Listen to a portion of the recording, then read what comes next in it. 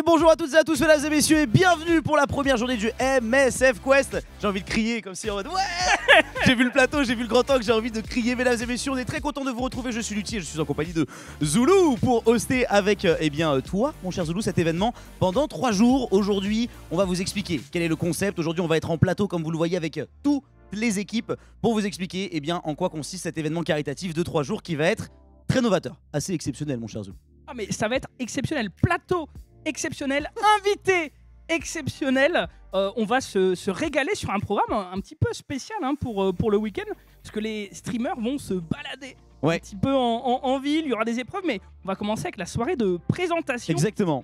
Bah en vrai. Du- déjà, déjà, c'est marqué là, donc je vais le dire. Merci beaucoup à Bonjour Alba qui a fait la petite musique MSF Quest juste avant qui est passé. Du coup, il y a plein d'assets qui vont vous être diffusés aujourd'hui pour qu'on comprenne un petit peu comment tout va fonctionner ce soir. On va accueillir nous les différents participants, on va parler avec MSF ce soir et on va avoir quelques épreuves qui vont donner des avantages pour la journée de demain et après-demain. Et en effet, demain et après-demain, en gros. Voilà, hein, euh, c'est un espèce de carte au trésor, Pékin Express, Escape Game. C'est un mélange de tout ça avec un système de donation qui est assez intéressant de votre côté puisque ça reste un événement caritatif mais qui change un petit peu. On sera pas assis là à vous quémander et à vous demander de l'argent mais par contre vous pourrez complètement intervenir grâce à des dons bonus ou malus. On aura l'occasion de façon de tout représenter avec tout le monde mon cher Zulu. Euh, tu es hype pour ces trois jours? Ah mais je suis grave hype. De toute façon, je fais pas la route de, de Dunkerque jusqu'à Montpellier Oui, pour rien. vrai. Je vais pas te le cacher. Je suis, je suis venu, je suis déterminé. En plus, voilà, j'ai vu tous les invités. Je me suis dit, franchement, on va passer un bon moment. Oui. Je, je vois pas comment ça peut être euh, différent, autrement. Euh, ce ce week-end, hein, je rappelle, on est en live sur les, les chaînes de chaque participant. hein. donc vraiment, voilà, vous pouvez aller vous faire plaisir de vous balader de, de chat en chat, Exact. vous faire plaisir. Mais justement, on parle d'invités. Je crois qu'on va peut-être les, les accueillir, mon cher. Exactement, on va commencer du coup. euh, comment on fait? On fait un tonnerre d'applaudissements? Je pense qu'on demande un tonnerre d'applaudissements. Ouais, à on peut, on mesdames peut. et messieurs. La première team, eh bien, on va voir ce qu'elles sont capables de donner. En tout cas, ce sont, elles connaissent un petit peu Montpellier, mesdames et messieurs. C'est Aureliane et Juliette Ars. Let's go Ouais, applaudissements de fou. La foule est en délire. Calmez-vous Calmez-vous Il y a trois mecs Arrête- arrêtez, en régie qui calmez-vous. applaudissent. C'est magnifique. Ça va ou quoi Ouais, on va s'asseoir comme ça, on s'assoit tous. Et On peut, parle avec nous. vous. on peut, on peut. Vous avez un, vous avez un, euh, ouais, vous- je pense que vous êtes bien. Là hein. Vous pouvez vous asseoir là, il n'y a pas de ouais, le problème. plus près de nous, ce serait bizarre de vous mettre tout là-bas. Ouais, c'est. Gigantesque. Les c'est- canapés sont énormes, hein, les Ouais, ouais, canapés ouais, sont y énormes. Le plateau est super grand, mais on va avoir assez de place pour accueillir tout le monde. Ça fait plaisir. Faites bien attention, vous avez un micro pour deux. On vous fait, on fait confiance. Coucou, Euh, c'est. Comment ça va les filles? Ça va super bien, en pleine forme. Moi, j'ai jamais été aussi en forme de la vie. Storytelling, tu viens de prendre l'avion, tu rentres des États-Unis, t'es full jet lag, ça va? C'est ça, ouais. Avec un avion en retard, c'est super, mais on est là, je suis trop contente. Vraiment, je. Quel est le nom de votre équipe en plus, vous? Les Vous êtes les les aventurières. aventuriers. Eh ben ça vous va bien en vrai, ça te va bien aujourd'hui parce que c'était l'aventure pour arriver Par jusqu'ici. contre, je veux bien. Pourquoi on a une, euh, une laine C'est une corde, c'est une Corde. corde tout de même. Eh Ça oui. commence bien, ça commence Eh bien. oui. Non, mais c'est c'est Ligaya qui m'a dit que c'était une, une laine de laine et je- en mode mamie. J'étais en mode bah super. Je crois que c'est Ok. une corde pour pouvoir escalader parce Ok, qu'il va y avoir de l'escalade, du rappel et plein de choses comme ça. Là, elle panique. J'ai le vertige. J'ai le vertige, donc. euh, non, non, c'est une blague évidemment. Euh, ça va, vous êtes un peu excité quand même pour cette émission ce soir, mais surtout le week-end qui arrive quoi. Moi, je suis un peu stressée parce que vu que je- ça fait 10 ans que j'habite à Montpellier, je suis censée être la personne qui connaît le mieux Montpellier, mais il faut savoir qu'après 10 ans, j'utilise encore euh, le GPS pour me balader dans Montpellier. Parce Qui que sera évidemment Ah, interdit demain. Euh, je crois Ouais. qu'il sera interdit. Hein. J'ai pas de sens d'orientation, c'est une catastrophe. Je, je me perds tout le temps dans les rues. Arrête, du coup, ça te fait quoi de se retrouver avec ce boulet alors qu'elle est censée être l'une des favorites? Ben, heureusement que moi j'ai énormément de sens d'orientation et que j'habite sur Montpellier depuis maintenant 28 ans. Donc euh, heureusement que je suis là quoi. Ok. Et Alors, ben, c'est faux, c'est faux. J'ai déménagé jamais- il, y a, il y a un an et demi, euh, je connais rien, je suis vraiment nulle. Je, Ah. je pense que je connais plus que toi. bon, Ouais, je sais pas. On va se régaler, je crois. hein. Ouais, la team aventurière, bah du coup, bah bonne chance à vous. On vous souhaite le meilleur. Bah, et puis merci bah, ce soir aussi, attention, il y a des petites épreuves, notamment en partie 2, partie 3, qui vous permettront d'être plus ou moins bien classés pour demain, pour avoir des petits avantages. Donc, euh, donc ça va être euh, très très chaud, mais il faut aussi être bon ce soir. Deuxième équipe, tu veux l'annoncer? Ah, deuxième équipe, mon cher euh, Lutti. Je crois qu'ils vont être aussi euh, très très bons. Il y en a un, il vient d'être libéré d'un ce bâton. Et euh, l'autre moitié du duo Était avec Juliette. était avec Juliette Hart euh, à Los Angeles. On accueille, s'il vous plaît, Ligaya et Moment. Bouh Nul, nul. Oh l'ambiance Oh l'ambiance sur le plateau mais Regardez-moi cette entrée. La team short, jaune. euh, moment. C'est vrai qu'ils vous ont fait porter les t-shirts les plus flashy, n'est-ce pas hein? Ouais, mais ils sont trop stylés. Regarde, on a des éclairs. C'est quoi la team, vous? C'est la team éclaireur. La team des éclaireurs. Éclaireur. Eh oui, eh oui Les, forcément. les Gaïa, ça du coup, euh, un peu le même topo que, que Juliette, quoi. Ouais, complètement fatigué, mais, euh, mais on est là quoi. Ça va le faire. Alors tu verras aujourd'hui c'est une soirée de présentation, tu pourras te reposer entre aujourd'hui et demain pour la, la course d'orientation. Euh, T'es accompagné de, de moments, moments, euh, tu viens euh, de d'être libéré d'un ce bâton. Euh, je crois que tu as envie de voir la lumière euh, extérieure. Euh, bah moi, ce week-end va être magnifique. Euh, Je vais pouvoir euh, parler avec des gens qui me répondent directement. Euh, je vais voir euh, la nature, je vais voir si les voitures volent ou pas encore. Euh, non, non, mais euh, je, là, je, je suis content d'être euh, ici et de kiffer avec vous tous. Quoi. Qui Bon. de, de vous deux a le meilleur sens de l'orientation, cher Je pense qu'on est nuls tous les deux, mais genre à un niveau. euh, Ouais. Mais c'est pour ça que les gens vont donner de l'argent en fait. C'est justement parce que vous allez les régaler, parce que Oui. vous allez vous perdre. Des fois, vous allez euh, peut-être euh, les impressionner. Mais c'est pour ça que les gens vont regarder et, euh, se Et faire surtout, plaisir ouais. avec nous. Et potentiellement, vous payez des bonus aussi pour vous aider. Et puis nous aussi, on sera là pour vous aider quoi qu'il arrive au cas où si vous êtes trop nul.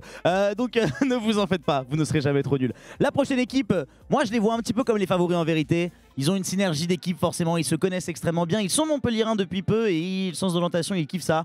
Mesdames et messieurs, la prochaine équipe, il s'agit du duo Ponce et Ultia Il est déchaîné, moment. On a tous besoin d'un moment dans notre vie, c'est très important. Coucou Ah. Pompon, coucou Ultia Coucou Ça va ou quoi? Ouais, ça va nickel. Merci beaucoup de nous avoir prêté votre canapé du salon du coup pour le plateau. Ça régale, hein, aucun, aucun problème. On n'hésitera pas. Comment ça va? Comment vous vous sentez pour cette soirée et pour cette aventure? Ben, nickel. euh, je vais peut-être laisser parler Pompon après, mais euh, moi, ça va. euh, je, je- franchement, c'est la première euh, espèce de course d'orientation là que je vais faire, mais je suis trop au taquet. Je sens que va y avoir une bonne synergie. Ouais, pareil. euh. parce Ça va que t'as une une coupe de baba cool que t'es obligé de l'être. hein. Ah, de fou. On adore la demi-queue euh, de Ponce. euh, bien Est-ce qu'on sûr. peut en parler? Oui, moi je pense. Bah, on va faire une session. un- Laissez ma demi-queue hors de ça. Euh, mais du coup, non, pareil, première course d'orientation de ma vie. Euh, après, j'ai un niveau assez fou en vrai en orientation, donc je me fais ultra confiance. Et euh, bah, Montpellier, euh, ouais, Julia, tu disais que tu connaissais bien Montpellier. En vrai, je connais pas trop mal aussi, ayant fait quelques années d'études ici, deux, pour ceux qui savent pas. Et, euh, De quoi? et donc voilà. Non. Deux années. Choc de J'ai niqué le truc.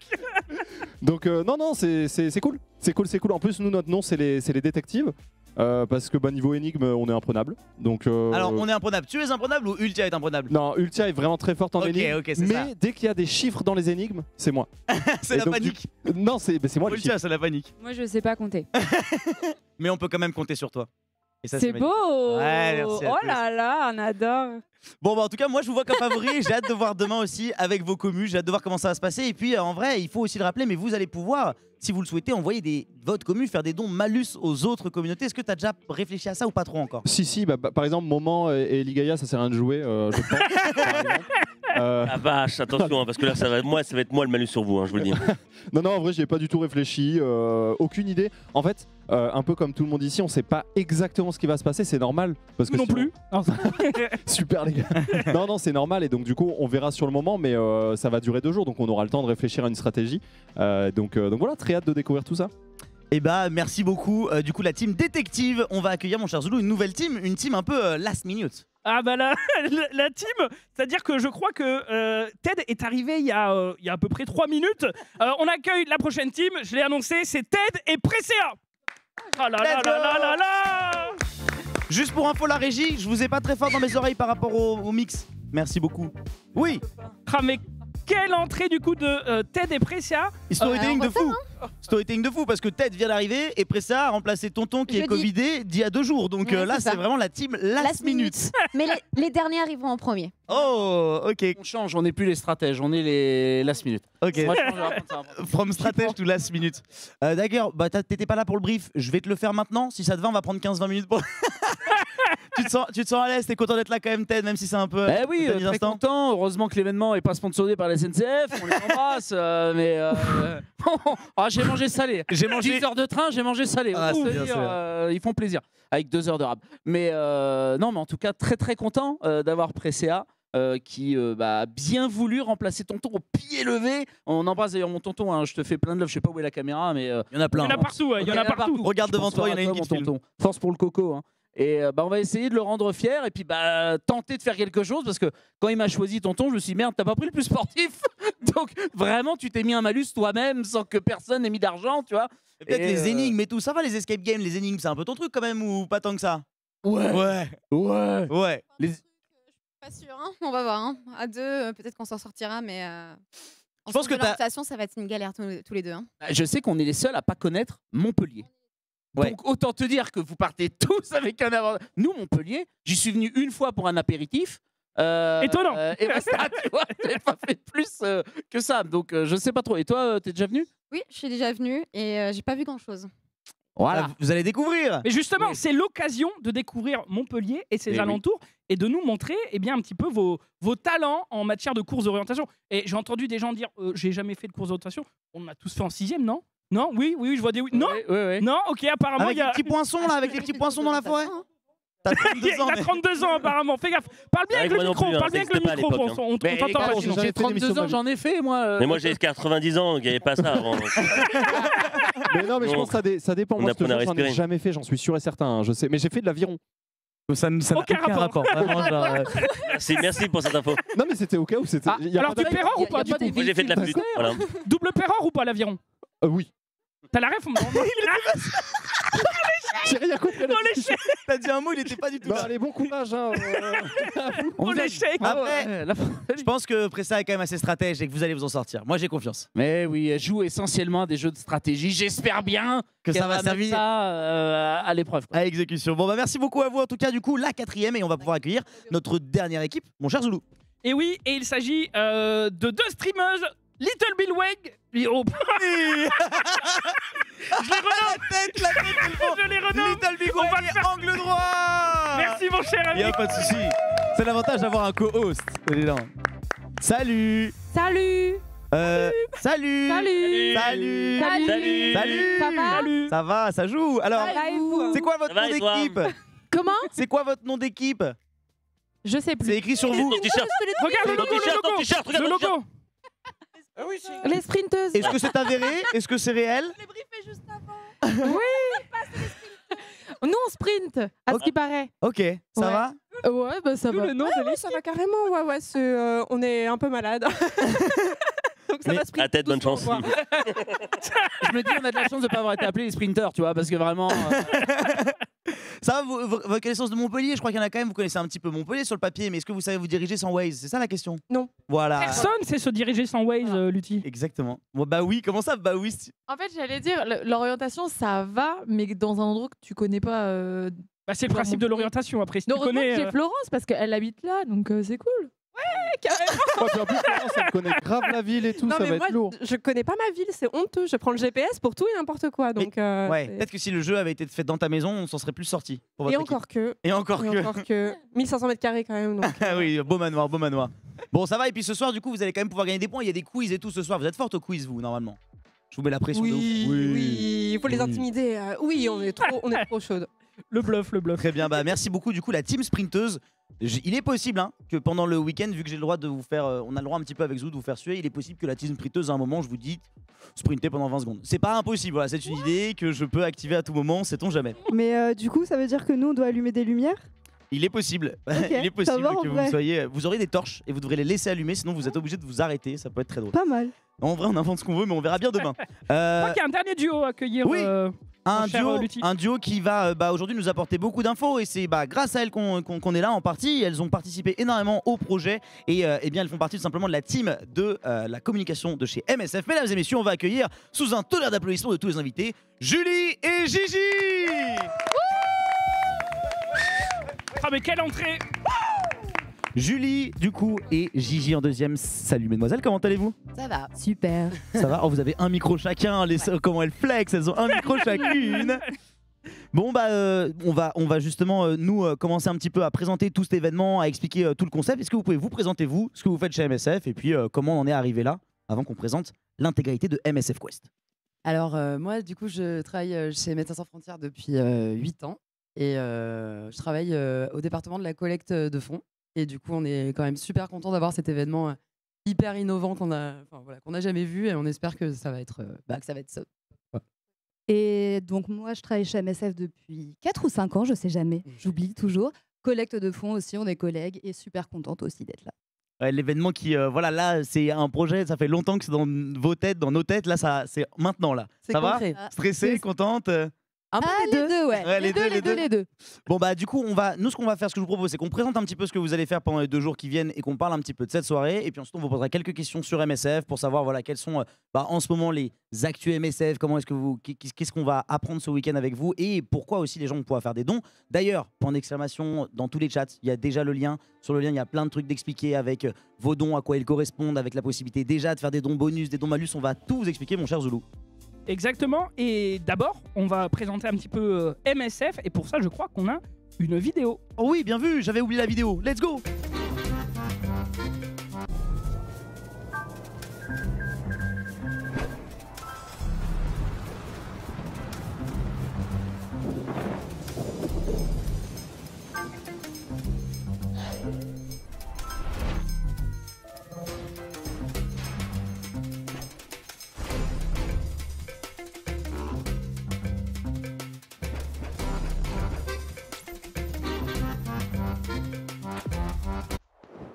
Bon, cette petite vidéo, elle présente euh, en fin de compte MSF, mais on n'a pas présenté euh, ce qu'est MSF Quest. Qu'on vous propose en fait euh, ce week-end. Est-ce qu'on peut expliquer un petit peu Bien sûr.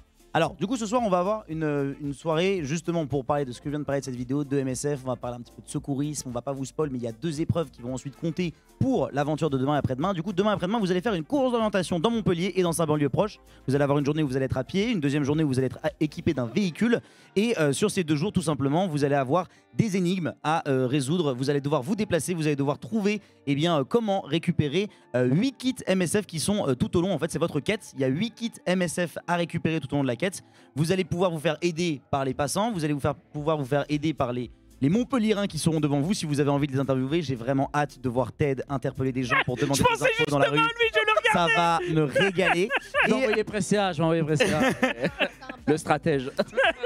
Du coup, vous allez devoir essayer de suivre tout ça. Nous, on va être un petit peu les maîtres du jeu, donc on va pouvoir euh, intervenir à n'importe quel moment si vous avez besoin de beaucoup d'aide, si vous vous trompez ou au contraire si vous avez trop d'avance. Vous allez ensuite avoir des cagnottes personnelles affichées sur vos streams qu'on aura aussi, des cagnottes qui peuvent être soit des dons bonus, qui vont vous permettre d'avoir de l'aide, qui vont vous permettre d'avoir accès au chat, qui vont vous permettre d'avoir accès à un téléphone, à internet. On va d'ailleurs révéler les bonus maintenant. Comme ça, vous saurez. Et ensuite, il y aura les dons euh, malus. Alors, c'est écrit en petit, mais euh, je vais. Est-ce que je me déplace pour les lire? Ah, je peux aller les lire. Vas-y, tu peux Vas-y, les lire. vas-y, euh, tu peux aller lire les bonus, s'il On te se fait plaît. spoil? Et euh, Alors- oui, bah, on se Ah fait bah oui. spoil. Ouais. Au bout Ted, d'un moment, bah, il faut savoir quoi. Ted, tu pourras aller lire les malus après Euh, oui, si tu veux, bien sûr. Alors au niveau des bonus, euh, 500 euros, on a droit à une bouteille d'eau. Mais le but c'est pas mourir quand même. C'est quoi, On va pouvoir boire. c'est quoi ce délire? Ok, une bouteille d'eau. Pour 500 euros, pour 1000 euros, on a droit à un carnet de notes et stylo. Ok. Pour 1500, on a droit à un indice supplémentaire. Pour 2000 euros, on a un accès à internet de 5 minutes. Ah, c'est- pas mal Ça, ça. c'est cheaté, Ça, ça. c'est- ça, c'est Ouais. pas mal, ouais. Puisqu'on l'a pas précisé, mais vous n'aurez pas accès à Internet en fait. Ouais, bien sûr, ouais. C'est- Ouais, ouais. Pas de map, pas de rien. Vraie d'orientation. chat Twitch d'ailleurs. Même pas de Ouais. boussole. Mais euh, les 5 minutes, on peut genre les utiliser sur la longueur? On verra. C'est d'un Ok. coup apparemment. Non, normalement, moi ce que j'ai compris, c'est d'un coup. hein. Ouais, c'est one Ouais. shot. Bah sinon c'est un peu cheaté, c'est genre... euh, vrai, non, c'est. Euh, accès au chat pour 3000 euros, accès au chat pendant 3 minutes. Ça c'est ça c'est pas mal aussi. C'est 3 minutes par heure par contre. hein. 3 Oh. minutes par heure dès que vous avez débloqué ce palier. Ah ouais Pour Je le crois que chat. Ça, c'est bien ça. Euh, pour euh, 5000 euros, appel à un lutti. Ah Donc tu vas nous aider. Ouais, c'est ça. Bah là, ça sera un gros bonus où moi je vous ferai avancer directement sur votre problème. Pour Avec 7000 Zoom. euros, retrait d'un malus au choix. Ok Pour 10 000 euros, joker pour une énigme, une solution donnée. Pour 15 000 euros, données GPS fournies pour la prochaine quête. Bon, on te donne la réponse quoi. C'est- Ouais. c'est- Et pour 25 000 euros en bonus, obtention d'un kit. Donc ça t'a un des 8 kits, automatiquement ça te skip une des 8 étapes, tu gagnes un kit avec les 25 000 euros. Parce que le but de la course, c'est avoir 8 kits. Exactement, et c'est d'être le premier à revenir avec les 8 kits ici, le dimanche. Très bien. Ted, est-ce que tu peux nous lire les malus? Eh bien, c'est parti. Alors, euh, premier malus pour euh, 500 euros. Eh bien, euh, c'est une course interdite euh, jusqu'à la prochaine énigme. Interdiction de courir du coup jusqu'à la, la prochaine énigme. Ah, ça, c'est pour bien. moi. Ça, je prends. Je prends. pour 1000 euros, interdiction de se parler pendant euh, eh bien 5 mi- 15 minutes.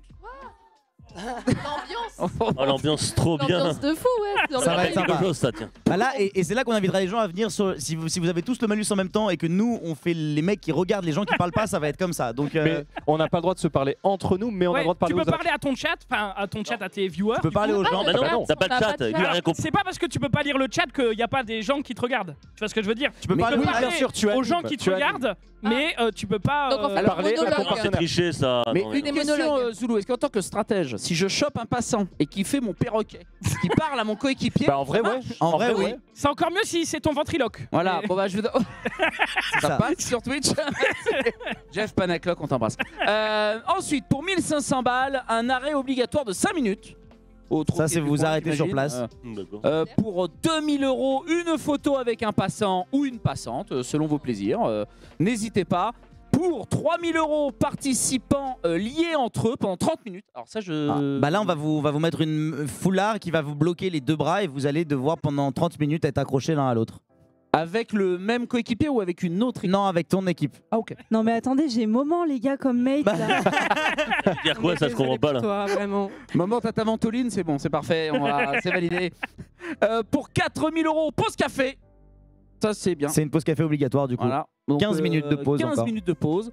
Pour bonus, ça. 5000 euros, eh bien, vous euh, aurez une transformation en Michel pour un participant 15 minutes. Ça veut dire que vous allez devoir prendre le backpack, le sac à dos et la caméra pendant les 15 minutes. C'est vous qui passez régisseur. Ah, je suis trop chaud de faire ça. Ça, ça va être rigolo. Je le prendrai, moi. Ah bah, si ça peut le soulager, let's go. C'est vous qui donnez le Michel.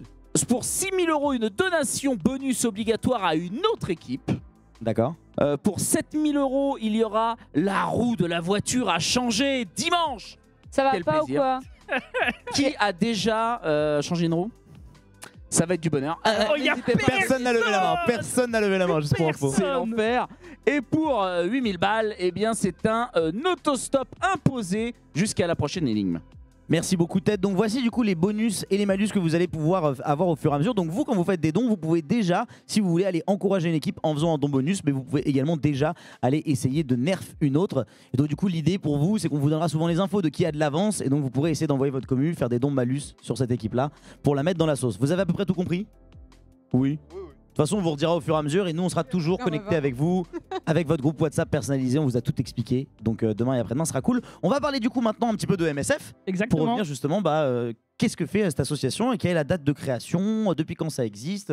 On va y aller, hein Exactement, on va y aller. Alors Julie, euh, On dirait que c'est un Gigi, on a- quiz. Vous, Ouais, vous vous avez mis des questions 1, 2, 3, 4, 5, 6, 7. Petit A, petit B. Alors l'avantage c'est qu'il n'y a pas de mauvaise réponse, on veut juste en apprendre un peu plus en fait sur, euh, sur MSF. L'outil, la première question, tu l'as donné de toute façon, c'est euh, quelle est la date de... En fait, MSF ça existe depuis quand en fait?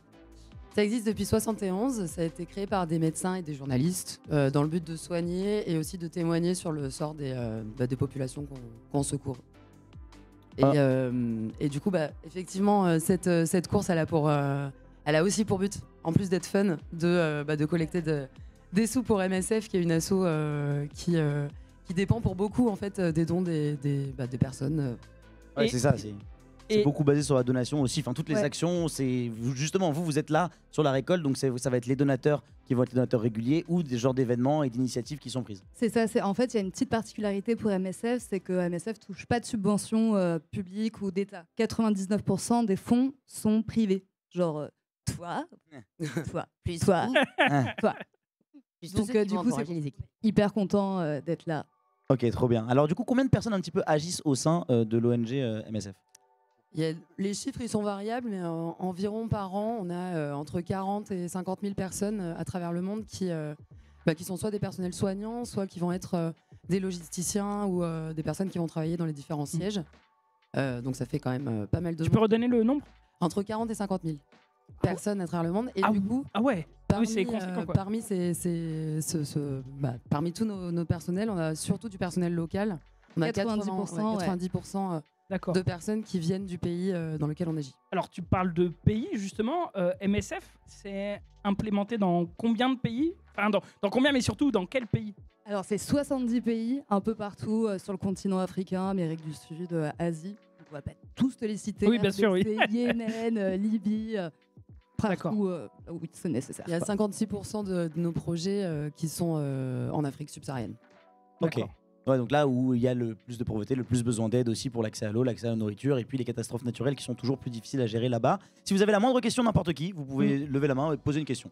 Moi, j'ai Ah une question pour toutes les personnes qui souhaiteraient euh, donner. On est d'accord que c'est dédu- déductible d'impôts Oui, Voilà, c'était la question la plus importante de ce à week-end, je pense. 75%.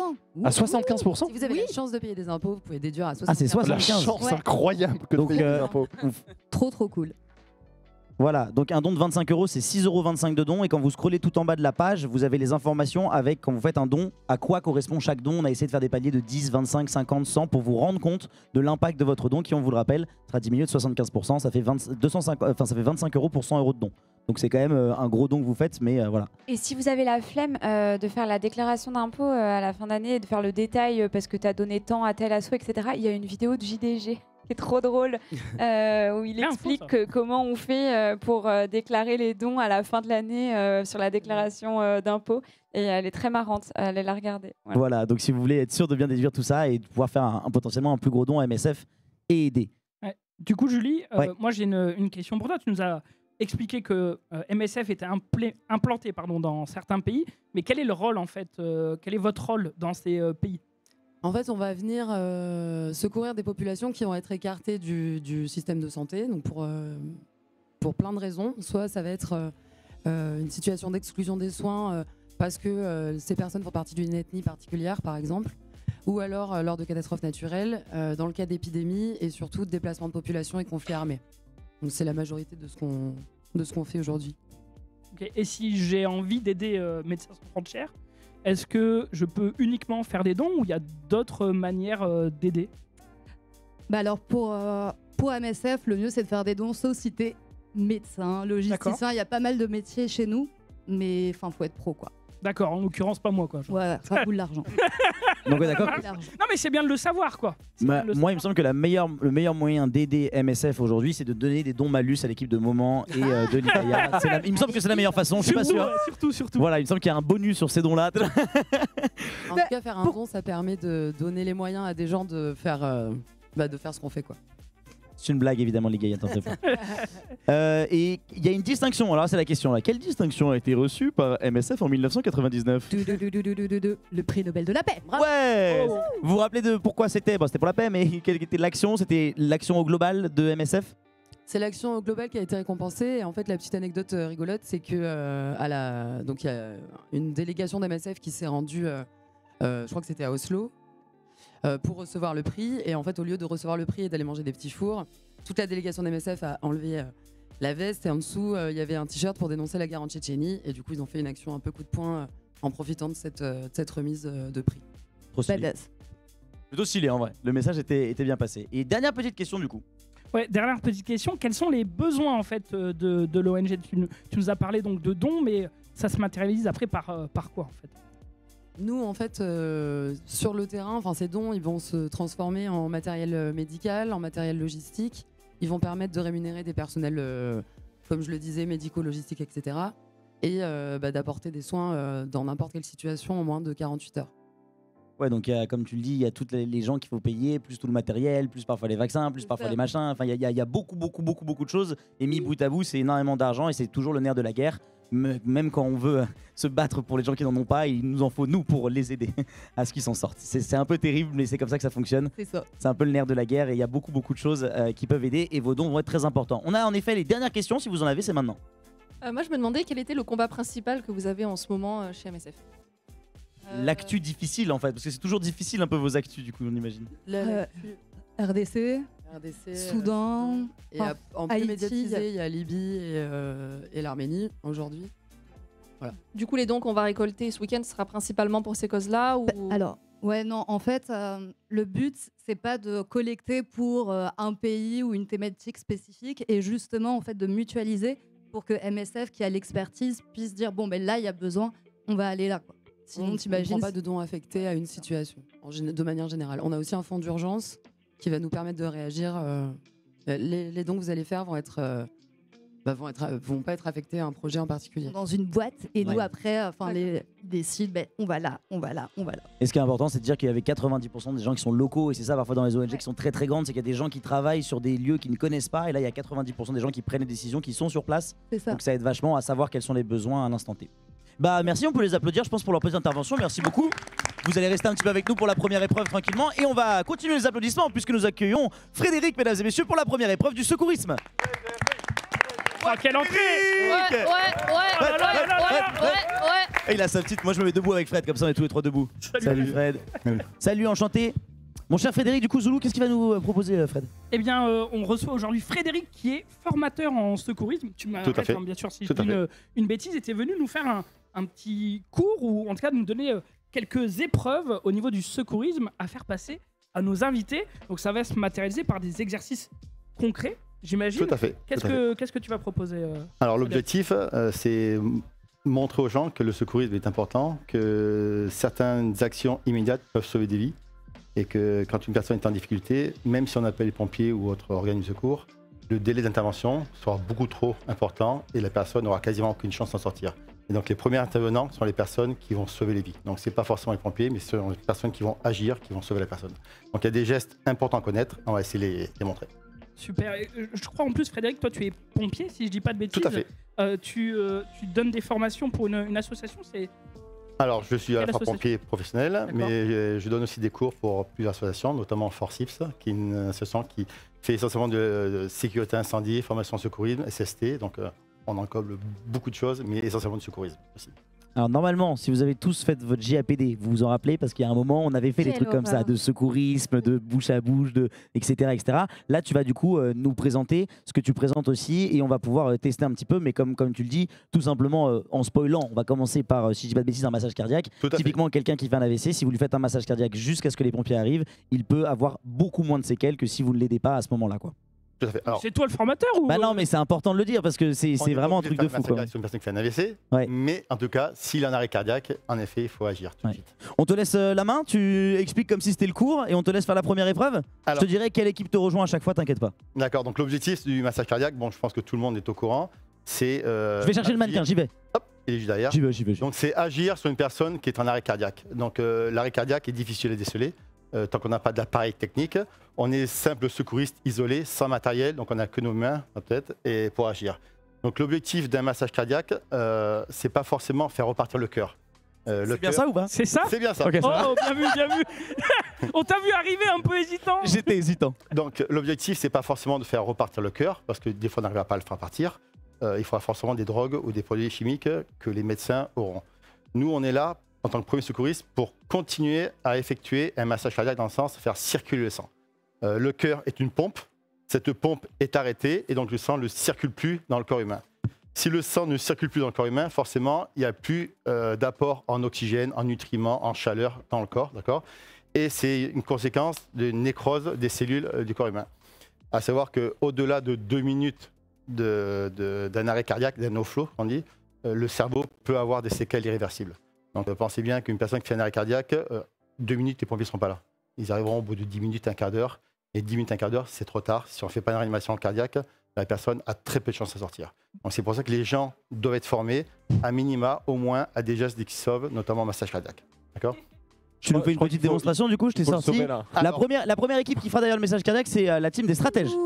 Ah, d'accord. Ouais, c'est vous qui êtes. euh, Ok. bah, Voilà. Donc, je vais essayer rapidement de vous montrer juste le geste Et technique, surprise. tout simplement, euh, et euh, pas l'ensemble du module. Donc, l'objectif, c'est de se positionner sur la victime, déceler les massages cardiaques, déceler l'arrêt cardiaque, pardon, et effectuer le massage cardiaque. Donc, pour ça, il faut bien sûr tester euh, la conscience de la victime et donc demander à la personne si elle est consentie, elle répond. Si elle ne nous répond pas, si elle n'effectue pas des gestes de, conscience, on estime qu'elle est en, arrêt, euh, en arrêt cardiaque. Et si elle ne ventile pas, bien sûr. À partir de là, on va devoir faire un massage cardiaque. Comment on fait? Bon, déjà, on met le torse de la victime donc à nu. On se positionne idéalement euh, au centre de la victime pour à la fois faire des compressions thoraciques, mais aussi un bouche à bouche, parce qu'il va falloir alterner le massage cardiaque et le bouche à bouche. On va venir positionner donc le talon à la main, la partie charnue non recouverte par une doigt, sur le sternum au niveau ici là, tout simplement. Le sternum qui est un os flexible, comme ça, on ne va pas s'amuser à, à casser les côtes. On n'appuie pas sur les côtes, sinon on risque de les casser. Donc sur le, le sternum, on se positionne. L'autre main par-dessus, on verrouille ses bras et on essaie d'avoir tout le poids de son épaule sous le massage cardiaque. L'objectif, c'est d'enfoncer la cage thoracique de 5 à 6 cm. D'accord On va effectuer 30 compressions thoraciques. À l'issue de ces 30 compressions thoraciques, on va effectuer un apport en oxygène, d'accord Parce que c'est bien de faire circuler le sang, mais il faut aussi apporter de l'oxygène au sang pour que le cellule puisse vivre. Donc on va effectuer deux bouche à bouche à la victime, d'accord Et on va alterner ce cycle de 32, d'accord Jusqu'à l'arrivée des secours, ou jusqu'à médecin arrive, ou ce qu'on nous dise d'arrêter, ou que la victime récupère, du moins remonte des signes de vie, simplement, d'accord Donc le principe, c'est je me positionne, crochette, et là, je vais effectuer 30 compressions thoraciques du même rythme. 1 et 2 et 3 et 4 et 5 et 6 et 7 et 8 et 9 et 10 et 11 et 12 et 13 et 14 et 15 et 16, 17, 18, 19, 20, 21, 22, 23, 24, 25, 26, 27, 28, 29, 30. Et là, il y a besoin d'oxygène. À partir de là, je dois faire un massage cardiaque. Donc, je bascule la tête, j'ouvre la bouche. Et tu souffles. Et là, du coup, il faut souffler Et vraiment je fort. viens souffler dans la bouche et je viens vérifier que l'estomac, que le ventre, pardon, remonte. Mes associations passent bien, le ventre remonte bien, je me positionne. Je pense que c'est bon, Fred, on va le Un, faire, on va le faire faire à tête, du coup. Etc., etc., etc. Et on, on essaye avec quelqu'un T'as des J'ai- j'ai- moi, j'ai une question. Moi, j'ai une question. Allez-y, allez-y, les Ah, questions. moi, j'ai- moi, j'ai- moi, j'ai une question aussi, mais- Ah ouais, il y a trois Euh, questions. Allez-y dans l'ordre. Pense d'abord. Vas-y. Un, Si, deux, faut- trois. oui. Allez. Ok, ça sera angle droit en premier, du coup. Elle avait une question aussi.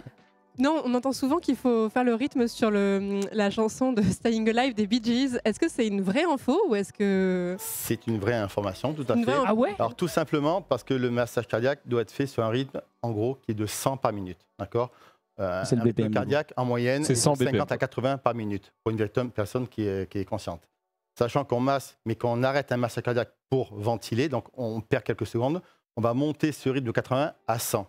D'accord. Staying Alive est un rythme de 100 par minute. Donc en massant à 100 par minute et en s'arrêtant pour faire le bouche à bouche, on reste sur un rythme de 80 qui permet d'avoir une bonne circulation. Donc il y, a Staying Alive- il y en a d'autres, hein, mais la plus connue c'est Staying Alive. Ok, d'accord, très bien, merci. Moment à gagner pour la Tu- question. Non, tu peux y aller parce que c'était la même question. Ah ouais, ok. Non, moi, je, je me demandais, euh, le, le massage cardiaque comme ça, là, si jamais on le fait à quelqu'un qui est vivant, il meurt? Bah non, Ouais. mais... mais non, Ouais, mais... Alors, Ça va non, pas lui faire Non, du mais quelqu'un, pardon, qui n'est pas... Qui... Non, mais quelqu'un qui n'est pas en arrêt cardiaque, pardon. Genre, si tu me le fais sur moi maintenant qui m'allonge au sol. Voilà, exactement. Alors, euh, depuis quelques années, le, le secourisme évolue, d'accord Euh, Aujourd'hui, on apprend aux gens les bases, qui sont vraiment les bases du secourisme. Sauf que euh, avant, on apprenait des gestes qui étaient un peu trop techniques et les gens avaient du mal à s'en souvenir, avaient peur de faire, mal faire. Donc, avant, par exemple, on vous apprenait à prendre le pouls, un pouls, pour savoir si le cœur bat ou pas. C'était un geste technique et les gens ne savaient pas trop le prendre. Des fois, ils le prenaient, ils le prenaient pas. Oui, je pense l'avoir, je suis pas sûr, etc. Et les gens mettaient des gens, une personne en PLS, Bah oui. pensant que le cœur battait, alors qu'il battait pas. Et du coup, les personnes décédaient. Donc du coup, on a décidé depuis quelques années de ne plus prendre le pouls. Et donc du coup, à partir d'une personne ne ventile plus, ça, la ventilation, c'est facile à déceler. On voit si le ventre monte et descend, on l'entend. Si on s'aperçoit que la personne ne ventile plus, on considère, à juste ou à faux, à tort, d'accord, qu'elle est en arrêt cardiaque. Et donc, vous êtes susceptible de masser sur un cœur qui bat. Donc, qu'il soit conscient, ben, c'est pas agréable, d'accord Mais parfois, des personnes inconscientes qui ne ventilent pas ont encore pendant quelques minutes le cœur qui bat. Et pourtant, on va masser son cœur qui bat. Mais il y a plus de, de chances de, de mal faire si on ne fait pas le massage cardiaque plutôt que masser son cœur qui bat. Donc, du coup, masser son cœur qui bat pendant quelques minutes, c'est pas grave. Vaut D'accord. mieux le faire, mais du coup. Non, mais peut parce le faire, qu'on peut avoir mais- peur de le faire, en fait. Mais Enfin, mais il n'y a aucun intérêt de masser sur une personne qui, euh, qui est vivante, bien sûr, forcément. mais on peut le faire. Ça sera désagréable. Si c'est mal fait, vous allez peut-être lui casser des côtes. Voilà. C'est, euh, Tout simplement, quoi. et, euh, Pas de risque Oui. d'arrêter le cœur. oui, voilà, d'accord, ok. Pas de risque d'arrêter le cœur. Euh, moi, petite question avant d'y aller. Euh, c'est vrai que souvent, quand on regarde des séries, des films, euh, quand on voit un massage cardiaque, souvent c'est 10 fois, 15 fois, et après, bam, bouche à bouche à bouche. Là, on voit 30, et je me dis, euh, finalement, les, les films et séries euh, donnent de mauvaises idées sur le massage cardiaque. Non, c'est alors chaque pays ses règles- sa réglementation. Simplement, Sans deck. Voilà. Ah ouais. Donc, euh, il y a quelques années, en France, on n'était pas sur du 32, mais on était sur du 15-2. Ok. D'accord? On faisait du 15-2. Le secourisme a évolué, les choses évoluent par rapport à des analyses et des, euh, des exercices. On estime aujourd'hui qu'il faut faire du 32. Donc, faut essayer du 32 ou du 15-2. L'important, c'est de masser Oui. et de ventiler. Et Aux États-Unis, ça veut dire qu'ils n'ont pas 32 aux États-Unis, c'est autre chose. Ça peut être autre chose. Je ne connais pas leur rythme. Même nous, ça a changé, ça fait x2, t'imagines Ça, Ouais, peut, c'est- ça peut être autre chose. Ça peut être autre chose. On va inviter Ted et, et, et Pressa, du coup, bah, tu vas pouvoir compter avec lui et l'en- l'encourager, je pense, hein, si tu as envie d'essayer aussi. Alors, On va, on va compter tous ensemble, évidemment. hein. Hop, de, rem- de Ah. remplacer le visage Ah, avec. The Mask, Ah, et te- Ouais, Tu étais un droïde depuis Ouais. Oh là là, les IA, déjà. Voilà. Une, une- une peau toute neuve. Allez, mon Hop. Allez, Ted, tu peux y Voilà. aller. Alors, donc, je suis bien euh, ce qu'a dit notre ami. Est-ce que tu peux lui donner le micro, Presséa? Ça- ouais. Avec, Le- avec du tendre, cette ouais. couleur, j'ai l'impression d'être à poil. Mais c'est terrible. C'est- À l'image, j'espère que ça te donne pas pareil. La boule, le gong. Alors, donc on y va. Si j'ai bien écouté ce que tu m'as dit, on va commencer déjà par voir si il est conscient ou pas. Tout à fait. Donc, poser monsieur, des questions serrez-moi la main si vous sentez quelque chose. Euh, je sens avec mon, ma main là, si je sens une respiration, j'imagine. Alors, on se baisse. On- D'abord, on lui parle. Ok. S'il ne me répond pas à Lâche-moi deux la- ordres simples, questions simples, je m'approche de la tête, je bascule la tête en arrière Ok. pour faire une LVA et je vérifie s'il ventile. Voilà. Si je vois qu'il ne ventile pas, Là, il pendant me- 10 secondes, il ne ventile pas. Ok. Il est donc en arrêt ventilatoire. Ok, donc je prends sa tête, clac, coup du lapin. Doucement, progressivement. Comme ça. D'accord Ensuite, je prends la paume comme tu m'as Je dit. talon la main, pas sur les talon- côtes, vraiment uniquement sur le sternum. Le sternum. Voilà. Très bien. Ici. J'essaye de faire au mieux pour que les gens On lève, les regardent. doigts, on lève les doigts vers le haut pour éviter d'avoir l'appui sur les côtes. on s'avance un maximum au niveau. Voilà. Vraiment les Mettre le épaules poids de au tes niveau épaules, ouais. Pour avoir une Ah oui, pression mais là, je vais y mettre perpendiculaire. plus de 7 cm, c'est sûr. Et on essaie, alors sur les premiers, on essaie à être 5 à 6. Donc, alors. Allez, 1, 2, 3, 4, 5, 6, 7, 7, 8, 9, 9, 10. Et il lui a cassé au moins 6 côtes là. Je sais pas, 27 5, 26, 27, 28, 29, 30. Le bouche à bouche Souffle, souffle, souffle On maintient le menton, le menton, on bouge, voilà, et on englobe toute la bouche et on souffle progressivement. Rouge. Voilà. Et on recommence. Euh. Allez, je compte. 1, Voilà. 2, 3, 4, 5, 6, 7, 8, 9, 10, 11, 12, 13, Bras 14, tendus. 15, 16, 17, 18, 19, 20, 21, 22, 23, 24, 25, 26, 27, 28. Très beau spectacle, moi j'adore. Dernier bouche à bouche Et mesdames et messieurs, il est vivant. Incroyable. Question peut-être un peu bête, mais comment on peut reconnaître Enfin, moi le sternum par exemple, je sais pas du tout où il est, j'arriverai pas, j'aurais peur de mal C'est le centre, main. tout simplement. C'est vraiment C'est le creux. C'est vraiment le centre, là, là où il est au- à l'intérieur des pecs, c'est vraiment au centre, le centre de, la poitrine, là où les côtes se rejoignent sur le sternum, tout simplement. On vient vraiment appuyer sur le sternum pour pas venir casser.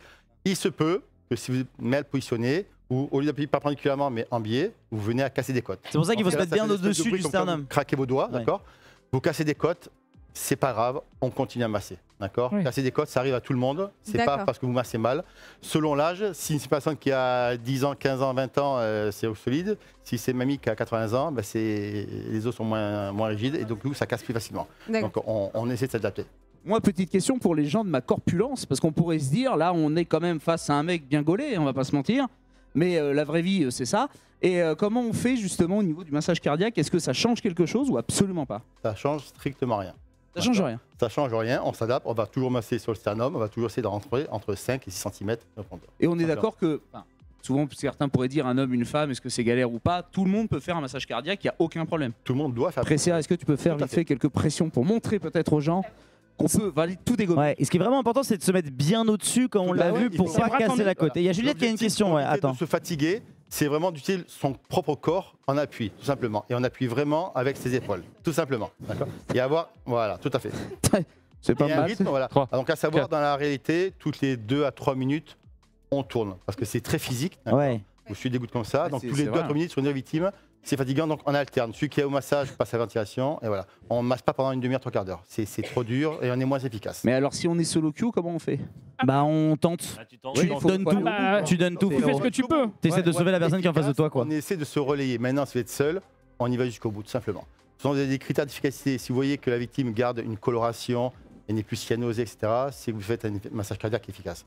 S'il commence à avoir des signes de cyanose, c'est que soit vous ventilez mal, soit que vous massez mal. Alors tu m'as perdu sur cyanose. Alors, C'est pas grave, c'est qu'il devient un peu bleu, quoi. Il a moins les couleurs de la vie, quoi. à partir du moment où la coloration va commencer à devenir bleutée, les lèvres bleues, les bouts des doigts bleus, etc. Il va commencer à se refroidir, etc. C'est un manque d'oxygène dans le sang. Donc ça veut dire que soit le massage cardiaque n'est pas efficace, vous circulez mal, soit que le bouche à bouche n'est pas efficace. Donc il y a des signes pour nous qui nous disent si on masse bien ou on masse mal.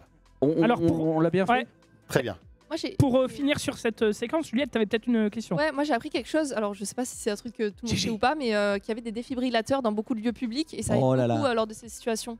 Et ça On a va en sauvé la, parler. mi- la vie euh, d'une d'un ami justement. On Ouais. va en parler. On va en parler parce qu'on va tout simplement changer de, Ouais, de cas Ce sera la cinquième épreuve, le Euh, défibrillateur. il me semble que- que la suite, Frédéric, c'est obstruction des voies aériennes. J'avais une c'est ça question sur le massage cardiaque. encore. Alors, Oui, vas-y, si tu veux. Euh, Est-ce que ce serait pas important de rappeler aussi les signes avant-coureurs d'un arrêt cardiaque aussi, avant même que ça arrive aussi? Alors, les signes coureurs, il peut y en avoir des, des- Des des tas. dizaines, exactement. Il y, a pas- il y a vraiment le classique, le malaise cardiaque, c'est la personne qui sent une oppression dans la poitrine, qui a du mal à respirer, comme s'il était en prise dans un étau, d'accord? Douleur à la mâchoire, douleur au bras. Il y a, il y a plusieurs signes, d'accord? Après, il y a le pouls qui va vite, sueur, euh, pâleur. Il y a plein de signes qui montrent qu'une personne peut faire un massage cardiaque, d'accord? Mais on ne peut pas vous dire si c'est que ça. Elle pourra avoir les signes sans forcément faire un malaise cardiaque. Dans tous les cas, euh, la personne qui tombe inconsciente, d'accord, on vérifie si elle ventile, et si elle ne ventile pas, on estime qu'elle a un arrêt cardiaque, et là on fait un massage cardiaque. Parce que moi j'avais ce cliché de la douleur dans le bras gauche, je crois que c'est le gauche. C'est- la fait. ça, non Qui peut être un signe, mais pas forcément. Pas for- ça peut être un signe, pas forcément, mais ça peut être un signe. Ok, Ouais. Ça d'accord. peut être un signe. Et puis il y a des gens, il y a des signes, il y a des gens c'est très fulgurant, c'est très aléatoire quoi. C'est ça qui fait un peu flipper. Tu peux, euh, moi, moi ça m'est arrivé, c'est juste il joue au tennis, et arrêt cardiaque, il y a aucun signe, le gars et bam il est tombé. et heureusement quelqu'un du coup a fait un massage cardiaque. On va passer du coup au deuxième geste qui Exactement. est l'obstruction des voies aériennes. Tout à fait. Et ça je pense que ça va être d'ailleurs la, la team, euh, c'est vous je crois qui, vous, qui allez vous prêter au jeu d'essayer de faire ça. Ouais. Donc euh, vous allez pouvoir Ouais, vous lever, oui, c'est, c'est- Ok. si ça vous va. Il me semble que c'est l'équipe de Little Big Whale et de Angle Droit qui vont aller faire ce geste numéro 2. Alors, Alors là pour l'instant euh, on vous note pas, juste il faut le faire bien. Mais il n'y a pas de seeding ou quoi, vous n'êtes pas classé si vous faites bien les trucs là, c'est juste pour découvrir. Il n'y a pas de seeding. Merde. Il y aura du seeding juste après, c'est pour ça que je vous dis ça, il y a du seeding après, attention.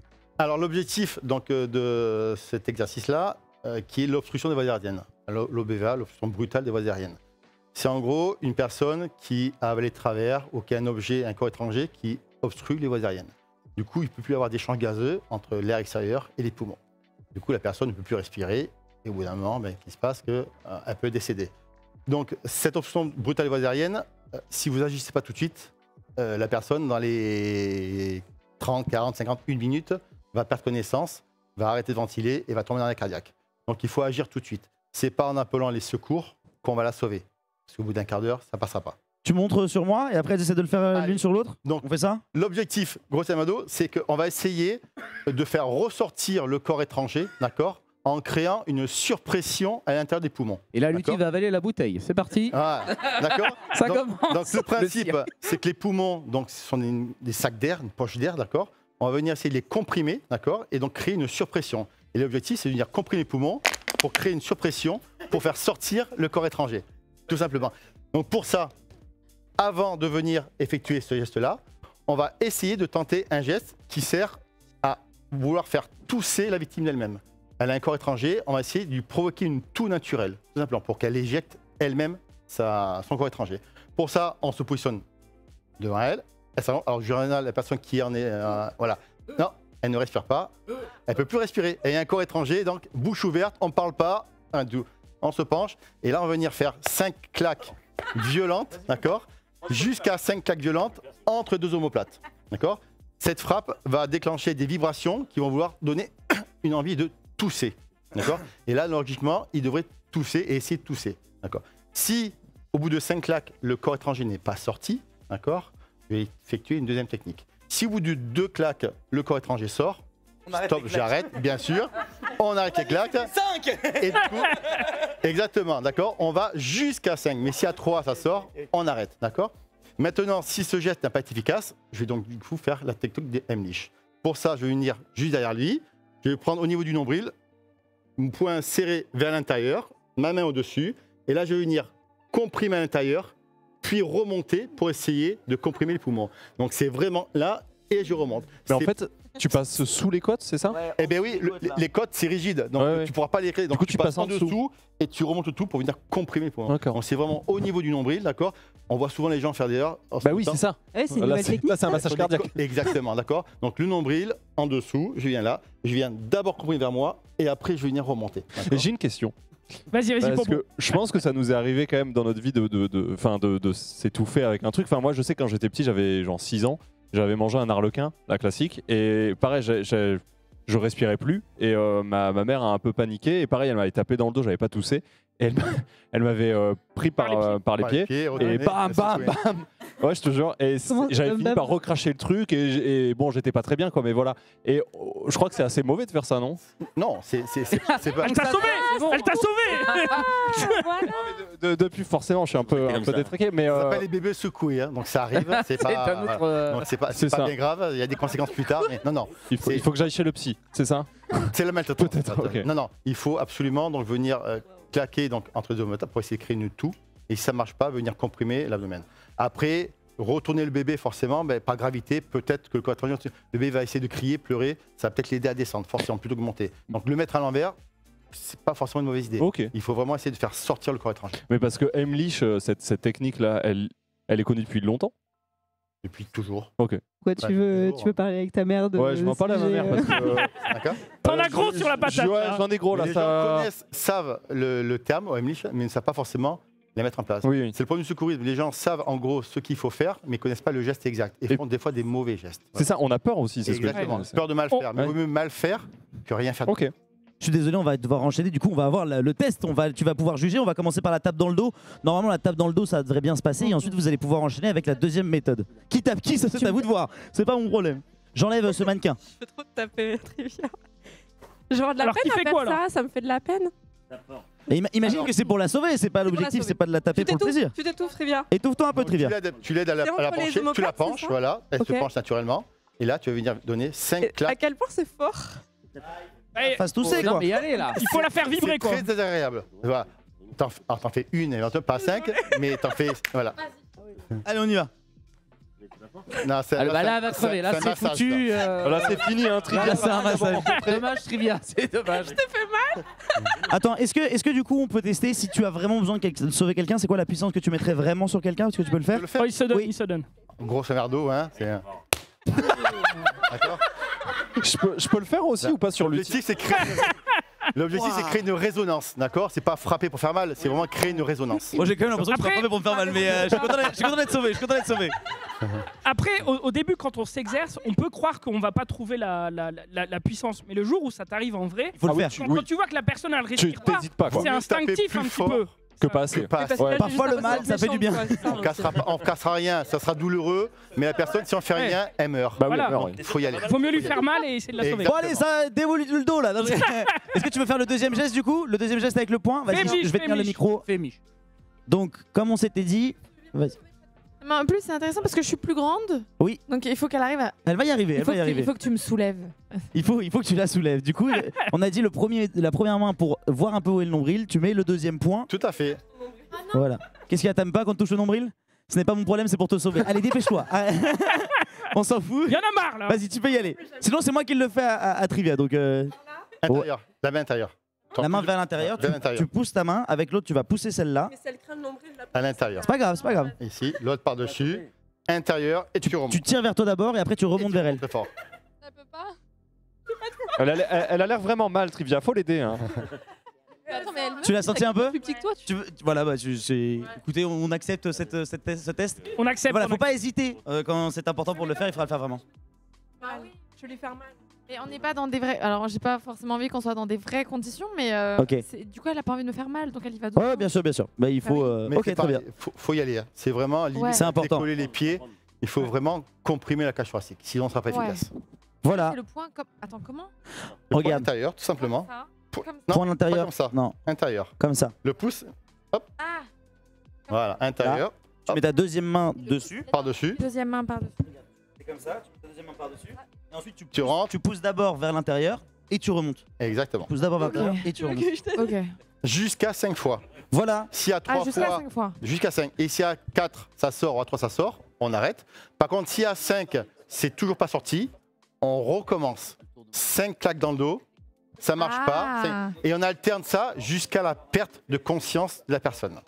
Et le but c'est de sauver la personne, donc il faut boucler, boucler, Exactement. boucler. Donc c'est et 5, forcer, 5, 5, 5 et on alterne. On n'arrête pas, on n'arrête pas, on n'arrête pas. C'est pas juste une fois et on arrête. C'est 5 claques dans le dos, 5 Emily. Ça marche pas, etc. Je suis désolé, on va avancer un petit peu, Fred, parce que sinon on va terminer à 23h. Et les gars, bah, c'était 22h20, donc euh, voilà. Euh, non, mais du coup, c'est nickel, c'est trop cool et c'est super important de toute façon d'en parler. Zoulou, on va, tu vas pouvoir présenter. La prochaine, euh, ce sera vous, la team des éclaireurs, qui allez la faire tous les deux. Voilà. Ah bah, il Attends, veut, attends, attends, il veut, il veut, il veut. Donc, euh, je propose que. Je connais les massages cardiaques, maman. Ouais, du coup, il va falloir que euh, on mette en place euh, la PLS, la police de sécurité, très connue sur Twitch évidemment. Je mets souvent les gens en PLS, c'est parfait. Alors, euh, pourquoi on met une personne en PLS C'est pour pas. Pardon. Ah oui, je- j'écoute, j'écoute, j'écoute. En, en fait, c'est pour pas qu'elle soit sur le dos et donc du coup, bah, par exemple, si elle vomit ou autre, bah, qu'en fait, elle s'étouffe même avec sa langue, par exemple. Alors, exactement. Alors, Bravo Ponce, félicitations. Oh là là là là là. Quel gros faillot. donc le principe, c'est qu'une personne qui est inconsciente euh, perd son tonus musculaire. À partir de là, elle est toute molle. Ce qui se passe, c'est que la langue est un muscle. La langue, la langue va tomber en arrière, tout simplement, et va obstruer les voies aériennes. À partir de là, si on la laisse à plat d'eau inconsciente, elle va tout simplement empêcher de respirer. Donc, Elle s'auto-étouffe. elle va s'étouffer avec sa langue, tout à fait. Et en plus de ça, les sécrétions, donc la salive, risquent de revenir au niveau des poumons et va se noyer avec sa salive. D'accord? Donc à partir du moment où une victime est inconsciente, si on la laisse à plat d'eau, il y a un risque vital pour elle. Par rapport à ça, on va donc la mettre en PLS. La PLS est juste une position d'attente, le temps que les secouristes arrivent. Et à la fin de cette PLS, la personne devra avoir la langue dégagée, la ventilation pourra passer, et si elle vomit, les liquides pourront s'écouler. Très bien. Donc l'objectif de la PLS, Est-ce que tu indiques à Ligaya comme ça, elle le fait directement avec toi? Tu lui dis comment faire et mettre en PLS Je me rappelle, je crois que je me rappelle. c'est Ah, parti. Je ah, ça peut être intéressant. Allez, ouais. je te laisse faire, je te corrigerai.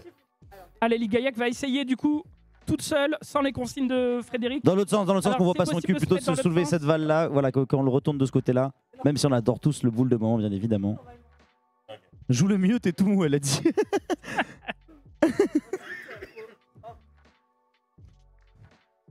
Non, mais ça ne- non, c'est dans l'autre sens, moi je dirais. Il faut justement, il faudrait que tu retournes la- le visage de moment là-bas. Pour qu'on le voit facecam. Et bah dans ces cas-là, tu mets l'autre jambe dans ces cas-là. Hop, tu fais descendre celle-là. T'es sûr C'est quelle jambe qu'il faut lever si on veut le faire tourner par là-bas Il n'y a Ah, pas je de pense sens. que c'est là. hein. Il n'y a pas de sens. C'est à droite là. ou à gauche. Parce que tu t'en sers de levier. Voilà. Vas-y. Si tu lèves justement, c'est bien, c'est que tu as tourné de l'autre côté. Par là-bas. Ouais, donc là, non mais c'est bon du coup. À droite ou à gauche, comme tu veux. Ah, tu mets ça sous sa tête, ok. C'est une- c'est un style. Aux États-Unis. Un- À 30 jours de ce bâton, ça fatigue. hein. Il est trop à l'aise. Il est trop. Et là, du coup, tu prends ça. hein. Il a la plage. Moi, j'avoue, c'est pareil. Et, là, normalement, il est en position latérale de sécurité. Faut pas non plus qu'il tombe. Donc, alors, le problème, c'est que, en effet, pour les gens, la PLS, c'est juste le mettre sur le côté en train de dormir. Voilà. Sauf que là, actuellement, ta PLS, elle n'est pas efficace. C'est que si tu l'as en PLS, là, il va quand même mourir. Pourquoi? Parce que Moins doucement pour Gryffondor. la tête T'inquiète, est toujours à l'intérieur, la langue On va te les et s'il vomit, ça- Exactement, d'accord. Ah oui. Les Donc en dedans. gros, la technique en elle-même n'est pas forcément importante si tu ne la connais pas. Il faut que, in fine, il faut qu'il puisse respirer et qu'il faut qu'il puisse euh, dégager les sécrétions naturelles. Si ça peut pas sortir, c'est que c'est pas bon. Donc la même chose, mais on lui ouvre la bouche. Mais c'était dans l'idée, c'était ça. Donc on Voilà, lève la jambe. la remonte si vous voulez. de- Vas-y, tu peux la faire Alors de, de ce côté-là. Euh, Non, il faudrait le faire tourner là-bas. Il faudrait Ah. qu'on voit la tête de moment face caméra après. Donc bien sûr, j'ai testé sa con- conscience, il est inconscient, d'accord? Je vais venir mettre son bras à 80 degrés, de la main Eh, au sol. Presque. Je prends sa main, je vais faire un check et je la mets contre sa joue, d'accord Je viens ça, lever oublié, ouais. le genou, je me recule et là je vais faire levier et faire une Ah oui, le levier, il est À partir de là, je retire ma main, d'accord Je le stabilise pour qu'il soit bien stable. Et ensuite, je viens derrière lui et je m'assure que la LVA soit bien mise en place, bouche ouverte, et je vérifie qu'il ventile. Là, tu écoutes s'il ventile. À partir de là, je vois la que la tête est en arrière, il a LVA, la langue plus aérienne, et s'il vomit, ça c'est cool. Ma PLS est Et- efficace. LVA, du coup, LVA, ça veut dire Libération des voies aériennes. Libération des voies aériennes, c'est ça la. la- Pour l'anagramme. sauvetage, Quelle belle c'est- bête, hein, vraiment. euh. Très bien, on peut c'est- applaudir. c'est On peut applaudir moment Bon alors moment ça pourrait vous choquer hein, qu'il soit allongé mais il l'est depuis 30 jours en live tous les jours en dormant donc pour lui c'était pas c'était pas un effort de fou juste le plateau était plus grand que une chambre. fois, le, le geste technique n'est pas vraiment important. Si vous faites une PLS et que le résultat in fine n'est pas bon, ça sert à rien. Maintenant, mettez-le comme vous voulez en PLS, mais au moins la tête en arrière et la bouche ouverte pour que ça puisse écouler. Mais- C'est juste l'objectif de la PLS. C'est pas que le mettre sur le côté. C'est pas l'objectif. En fait, c'est ça le problème, c'est que euh, on, on se rappelle un petit peu de l'à peu près, mais le jour où ça vient, euh, ça fait tellement longtemps que qu'on l'a pas fait ou qu'on l'a pas exécuté que Ben, ouais, disons on oublie très vite les Il y a détails. différentes manières de, de- de former les gens. Le problème, c'est qu'on veut vraiment former tout le monde et on fait du formatage. C'est qu'on vous formate. C'est qu'on t'explique un geste. Sauf que ce geste-là, tu vas pas le reproduire pendant 5, 6 mois, 1 an, 2 ans. Et tu vas juste te souvenir qu'il faut le mettre sur le côté. Mais Ouais, le fait que la tête ça. soit en arrière, bouche ouverte, tu vas le zapper. Et si tu as oublié que c'est les deux choses importantes, voilà. Après, une fois que tu sais ça, tu la mets comme tu veux. Tu sais que la tête est en arrière, bouche ouverte, ta PLS, elle est bonne. On est d'accord, Frédéric, que si justement, euh, comme le dit Ligaya, j'arrive sur le moment et je sais qu'on m'a expliqué une fois, mais je me rappelle plus trop, il faut quand même essayer de le faire, quitte à mal le faire plutôt que rien du tout. Moi je Vaut pense que mieux tu- le faire, même s'il n'y a pas besoin, même si la victime elle est consciente, vous la mettez en PLS, ça mange pas de pain. c'est pas grave. Ça, ça va Vous pas- partez avec ça va pleine pas aggraver la conscience plutôt que de laisser quelqu'un allongé sur le dos qui est euh, souvent en fin de soirée un petit peu. euh, Voilà. Exactement. On ne laisse pas à plat dos une victime qui est inconsciente. On la met sur le côté. Et puis euh, pour terminer, vous pouvez commencer à mettre la PLS et si vous êtes vraiment pas sûr, vous allez sur YouTube et vous tapez PLS, comment mettre en PLS et vous allez trouver en deux secondes si vous voulez faire un effort, vous pouvez y arriver. Euh, on passe à la, tro- à la quatrième du coup? La quatrième, euh, tu, Zoulou, tu fais l'exemple et après ce sera Ah les bah, filles qui si le tu feront. veux. On fait l'hémorragie du coup, là je crois qu'il va falloir apprendre à faire un- ce qu'on appelle un garrot. Oula. C'est ça Bah, Je m'en vais. Oui, c'est ça. C'est toi qui vas le faire du coup, mon cher Zoulzoul. Alors, On peut se lever pour regarder? Ouais, vous pouvez vous lever pour regarder auto parce que c'est vous qui allez essayer en effet cette euh, avant-dernière Donc, euh, geste de premier secours. L'objectif des hémorragies, c'est pareil, c'est que suite à une blessure, enfin un accident, comme vous voulez, il y a une plaie et le corps, euh, le sang sort du corps humain. Si on n'agit pas tout de suite, le corps va se vider de son sang et le cœur va sûrement s'arrêter. Donc ça se joue en quelques secondes, d'accord, voire quelques minutes, mais plutôt quelques secondes. Donc c'est un geste vital et immédiat. Si vous ne le faites pas, la personne n'aura pas de chance d'en sortir.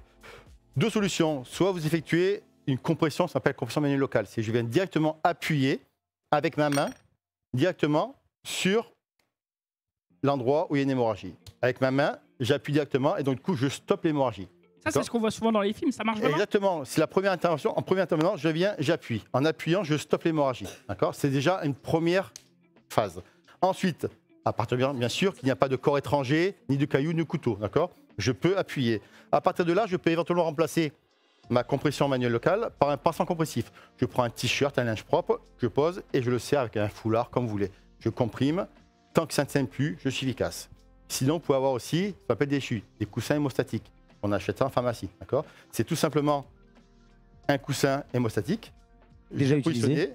Et ensuite, je viens serrer très fort autour de la plaie C'est bien serré, Zoulou héméro- hémorragique. C'est très serré. D'accord Et là, ça va venir juste remplacer ma compression manuelle. Et là, je peux le lâcher et je peux éventuellement le mettre en PLS s'il faut le mettre en PLS, faire un massage, cardiaque, faire un massage cardiaque. Appeler les, alerter, et appeler un les secours, etc. J'ai une question. Moi aussi. Euh, Bah, pendant, pendant ce temps, les filles, vous allez peut-être essayer Euh, de vous le faire corps pendant qu'il y a étranger, questions qui sont en train de se On faire. se prend un couteau et le couteau reste. Alors justement, corps étranger, à partir du moment où il y a un corps étranger, on ne retire jamais le corps étranger. D'accord? Parce qu'au contraire, ça peut accentuer donc, le La saignement. perte de sang et tout. ouais. Exactement. Et donc du coup, à partir de là, eh ben, on va passer au garrot. Ok. D'accord? Elle joue trop bien. Aïe Oh, le RP de fou On peut faire du RP Vous avez le droit de faire du RP, bien sûr. Ok, ok. Je crois que Madame, Juliette a besoin d'aide. Madame, ok. Vous avez mal où Là Ah, tu le vois quand Il y a du sang là. T'es censé le voir, le sang. À la tête Ok, je peux pas faire comme dans les films euh, trop stylés, on, on arrache le t-shirt et tout Elle est morte, là, elle est morte, ça y est, le, le sang est On vidé. stoppe juste l'hémorragie. voilà, on vient appuyer et on prend et on serre très fort. Ok, madame, je vais serrer très fort, ok Serre fort, fort, faut fort. deux, très fort. Faut vraiment- Voilà. Et on va de part et droite. Est-ce que ça sert bien, Juliette De part et d'autre. Voilà, on dépasse de côté et on revient Ça de sert côté. C'est pas du vrai sang. Si, si, Non, bien non, sûr. non, non, bien Si, si. On s'est tous fait une saignée avant, on a tous mis un peu. formation, bien sûr. Moi j'ai même un peu on pissé dessus. Voilà. Et là, ça stoppe l'hémorragie. Et après, on perd pas son bras si on, on cut trop longtemps. Là, y a- c'est pas un garrot, d'accord? Ça vient comprimer les petites cellules, euh, les petits vaisseaux au niveau du, du bras. Tu vas peut-être avoir le bras qui a commencé un peu, il fourmille, couleur qui va commencer à être cyanosée, un peu violet, mais il y a Mais on pas, perd pas le de- bras. on ne stoppe pas le sang, d'accord? Donc il n'y a aucun risque pour ton bras, d'accord? Même Ce après n'est des pas un heures et garrot. des heures. Même après des heures d'heure, ce n'est pas un garrot, d'accord Un garrot, c'est vraiment beaucoup plus serré du coup Si ça devient Ah, bleu. le garrot, euh, le garrot, l'objectif, c'est de stopper complètement l'irrigation du membre. Ah ouais, d'accord. Alors que là, l'irrigation n'est pas stoppée. On est comprimé, on comprime les petites artérioles, d'accord Mais l'artère principale n'est pas bloquée. Du coup, le sang continue à circuler. D'accord Ce Voilà, n'est donc pas un c'est un, garrot. c'est un pansement pansement compressif. compressif. Très bien. Est-ce que ça sert à peu près autant que quand on va chez le médecin et qu'il nous prend la tension ici et qu'il serre avec la Alors, machine quand le médecin vous prend la tension, il vous fait un garrot. Ah, c'est un garrot. D'accord Il Ah. serre tellement qu'il stoppe Ouais, c'est ça. le flux sanguin. Et après, quand il relâche la pression, il va regarder à quelle pression le sang repasse. Et ça vous donne votre tension artérielle. Et c'est pour Au ça que départ, c'est- c'est un garrot. C'est un peu désagréable. Voilà. C'est très désagréable, C'est ouais. très désagréable. Ah oui, assez Et surprenant. après, ouais. il relâche doucement. Et le- quand le sang recircule, il prend la minima et la, la maxima et la minima. Et ça vous donne une tension artérielle. Mais à la base, c'est un garrot. C'est Ok. un garrot complet. D'accord? Très bien, Et- merci beaucoup les filles, je crois, du coup. Tu veux expliquer une dernière chose? garrot, juste une pose un garrot. Bien sûr, vas-y. Très rapidement. Donc, si vous n'avez pas le choix, il faut poser un garrot. C'est pas On va prendre un compliqué. mannequin, D'accord Le garrot, pour faire un garrot, pas compliqué. Donc, bien sûr, entre la paix et la cœur. on fait un vrai garrot là? Tranquille, T'inquiète, ça va bien se il est formateur, il sait ce qu'il fait. Il est Tout va formateur. bien, tout va bien. Je ramène le mannequin pour la dernière euh, juste après. Faire un nœud de chaussure, tout simplement. Je mets un bâton, ça peut être un stylo, un couteau, une branche d'arbre, n'importe quoi. Au À quoi il sert? À bloquer le nœud? Et pas du tout. Justement faire le garrot, on vient refaire donc un petit nœud là, ces chaussures, là. Et à partir de là, pour faire mon garrot, je vais venir juste tourner. Ça s'appelle un garrot Ah, non, t'inquiète pas, en n'aie pas peur, n'aie pas peur, ça va. je Ça va vais venir serrer. Nous, on appelait là, ça le bracelet indien si quand on était tourne, jeunes, mais, Au bout euh, d'un moment, je vais stopper. Voilà, je stoppe, je n'ai plus de pouls. Hop, là j'ai le pouls qui revient. Donc je stoppe. Exactement, tu serres. Ça s'appelle un garrot tourniquet. Donc un garrot tourniquet avec n'importe quel outil, ça peut être un- une branche d'arbre, un couteau, un stylo, ce que vous voulez, d'accord? Et après, il existe des garrots tourniquets professionnels que vous trouvez dans la pharmacie, tout simplement, qui existent, d'accord? C'est le même principe. On met le membre, on serre, on tourne, et après on vient bloquer le système. Voilà. Mais l'objectif, c'est vraiment de stopper le saignement complet du membre. Ça, c'est pourquoi? C'est c'est pour en arriver où? Parce que là, c'est quoi? C'est que tu peux rien faire, ça saigne trop? Ça saigne trop, mon pansement compressif n'est pas efficace, j'ai un couteau, j'ai une, euh, un Ouais. corps étranger, je ne peux pas faire de pansement Et compressif. combien de temps ça dure? Il faut. Parce que après. euh, Alors, en France, on a l'hôpital dans la demi-heure, d'accord? Donc, il n'y a pas de risque. Maintenant, vous êtes euh, fin fond de la Pampa, euh, au bout de quelques heures, il peut y avoir des séquelles irréversibles pour le membre. Dernière chose à dire que quelqu'un dit dans le chat, il dit quand même les garrots, même les professionnels parfois ne savent pas toujours bien les faire. Il faut quand même euh, toujours euh, faire un pansement compressif en priorité parce que c'est le plus. Enfin, ça dépend de la situation. On commence S'il perd le membre, toujours, on commence toujours parce que le garrot, c'est vraiment euh, un geste dernier peut secours, avoir dernier des recours. conséquences. Voilà, on ok. stoppe complètement le jus sanguin. Donc du coup, le membre n'est plus irrigué. Donc du coup, il peut y avoir une nécrose des- Rapide.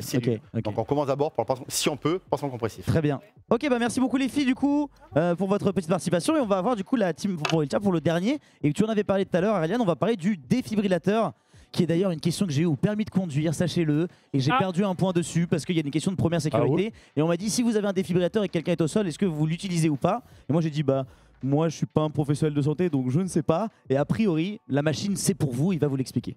Voilà. Donc le défibrillateur euh, est un outil donc, euh, indispensable pour augmenter les chances de survie de la victime. Donc on utilise bien sûr un défibrillateur sur une personne qui a un arrêt cardiaque.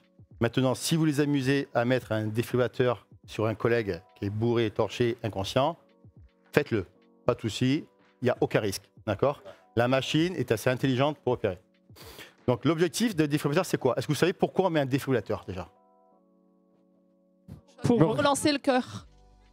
Justement, c'est pas faire pour relancer le cœur. Ouais. Le défibrillateur n'est pas là officiellement, En fait, il- il n'est pas là pour relancer le C'est cœur. pour les réflexes euh, myotatiques Non, c'est pour les réflexes euh, du corps, pour les euh, refaire Qu'est-ce qu'il péter, a non sorti Je sais rien. Du tout. Ça existe les réflexes Ah, j'en- j'en myotatiques sais rien, je- C'est quand tu es chez le médecin que ça, c'est un réflexe myotatique. D'accord. Ok. Mais pourquoi il fait pas ça alors? Pas du tout, d'accord Comment déjà, est-ce que vous savez comment fonctionne le cœur? Comment le cœur se contracte? C'est une pompe, mais comment est-ce qui le contracte? Comment il se contracte? Ça- ça Avec une impulsion électrique? C'est un muscle, exactement, par impulsion électrique, d'accord. C'est le corps qui envoie une impulsion électrique au bon cœur et le cœur, comme les systèmes complexes, vous savez, où vous mettez sur vous et vous avez un membre qui bouge tout seul, c'est une impulsion électrique qui fait contracter le cœur. D'accord. Sauf que quand vous êtes en arrêt cardiaque, cette impulsion électrique n'arrive pas. D'accord Donc le cœur ne se contracte pas. Donc on va mettre en place un DSA. Sauf que ce DSA-là, il, il est intelligent. Il va être efficace dans certains cas et pas dans d'autres.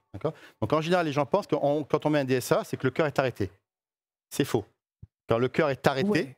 d'accord, le DSA ne sera pas efficace. Quand le cœur est arrêté, quand on parle d'asystolie, hein, quand il n'y a plus d'activité électrique, d'accord, ni mécanique, le DSA ne sera pas efficace. C'est pour ça que des fois, dans des réanimations, le DSA choque ou des fois il ne choque pas. C'est lui qui décide parce que des fois il est OK pour le faire parce qu'il est performant et des fois il dit moi je ne peux pas faire, je ne serai pas efficace. Donc le DSA, dans tous les cas, il choquera que dans deux cas. Il choquera dans la fibrillation ventriculaire et la tachycardie ventriculaire. C'est-à-dire que vous allez mettre un DSA sur une personne qui pour vous est en arrêt cardiaque puisque vous ne ressentez pas de pouls. Mais c'est la machine qui va quand même valider Mais si... le cœur fonctionne, Ouais. mais il marche mal. Et comme il marche mal, il n'envoie pas de pouls, il n'envoie pas de sang dans le, dans le corps. Mais le cœur fonctionne. Or qu'on pense que le cœur ne fonctionne pas. Mais le cœur fonctionne, mais il marche mal. D'accord? Donc l'objectif, c'est de refaire un reset du système électrique. Votre ordinateur bug, je l'éteins, je le rallume, il se relance et ça marche. Voilà l'objectif du DSA. C'est relancer le système électrique du corps humain et pas refaire partir le cœur de manière mécanique.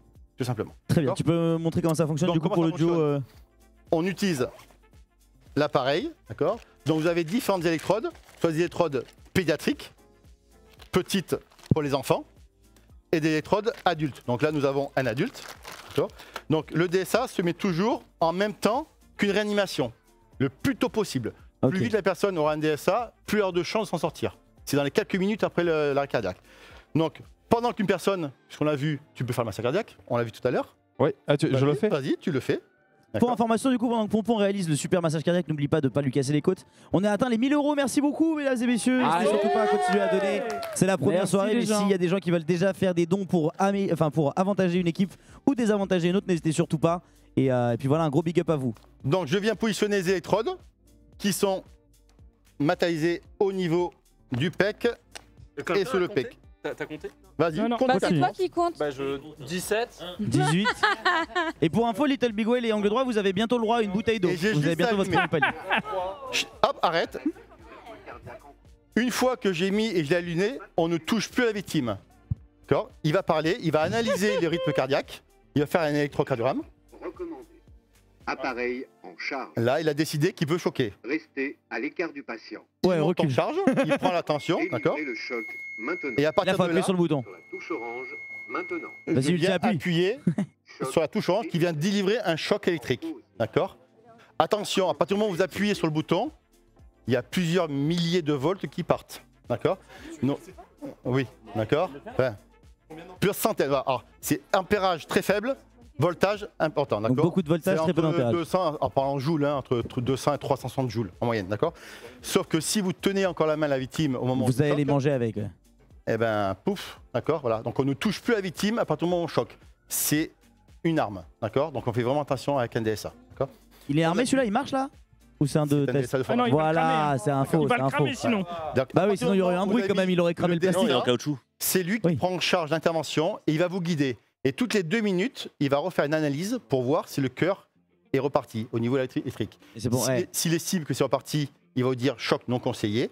Et s'il pense qu'il est encore en fibrillation tachycardie, il va vous demander de choquer. On peut choquer une, deux, trois fois consécutifs. Au-delà de trois, on repart sur un cycle de deux minutes de massage cardiaque. Et donc à ce moment-là, on enlève les électrodes. On n'enlève rien du clac, tout. clac. Ah non Une fois que c'est mis, on ne les retire plus. Il n'y a que le médecin qui peut décider d'éteindre la, la machine. Une fois que c'est mis, je sais pas. Ah, donc c'est un genre de cheat code parce qu'en soi, il nous donne quand même vraiment les directives à faire. Alors, de fou. Vous avez les DSA, les défibrillateurs semi-automatiques, et vous avez les DAE qui sont entièrement automatisés. C'est-à-dire que c'est des DSA qui ont été mis en place pour des gens qui n'ont aucune notion de secourisme. Et dès que vous l'allumez, il va tout vous expliquer. Attention, calmez-vous, appelez les secours, d'enlever ça, mettez ça, mettez. Il vous explique de A à- pas à pas ce qu'il faut faire. Ça s'appelle un DAE. Ce que vous trouvez dans les aéroports, dans les gares, etc. Et c'est pour ça que j'avais eu faux à ma question du permis parce que j'avais dit est-ce qu'on le fait ou pas et en fait il fallait répondre c'est la machine qui sait pour toi. Mmh. Exactement. Voilà. Et juste, j'ai pas entendu parce que je faisais le, le massage cardiaque, mais euh, les euh, électrodes, tu les as, tu les as mis. Alors, les électrodes, comme vous pouvez le voir, Ah, ok, c'est. Dessiné on peut pas aussi. se tromper, c'est dessiné dessus. D'accord, D'accord. ok. Donc on vérifie, on regarde, on les positionne.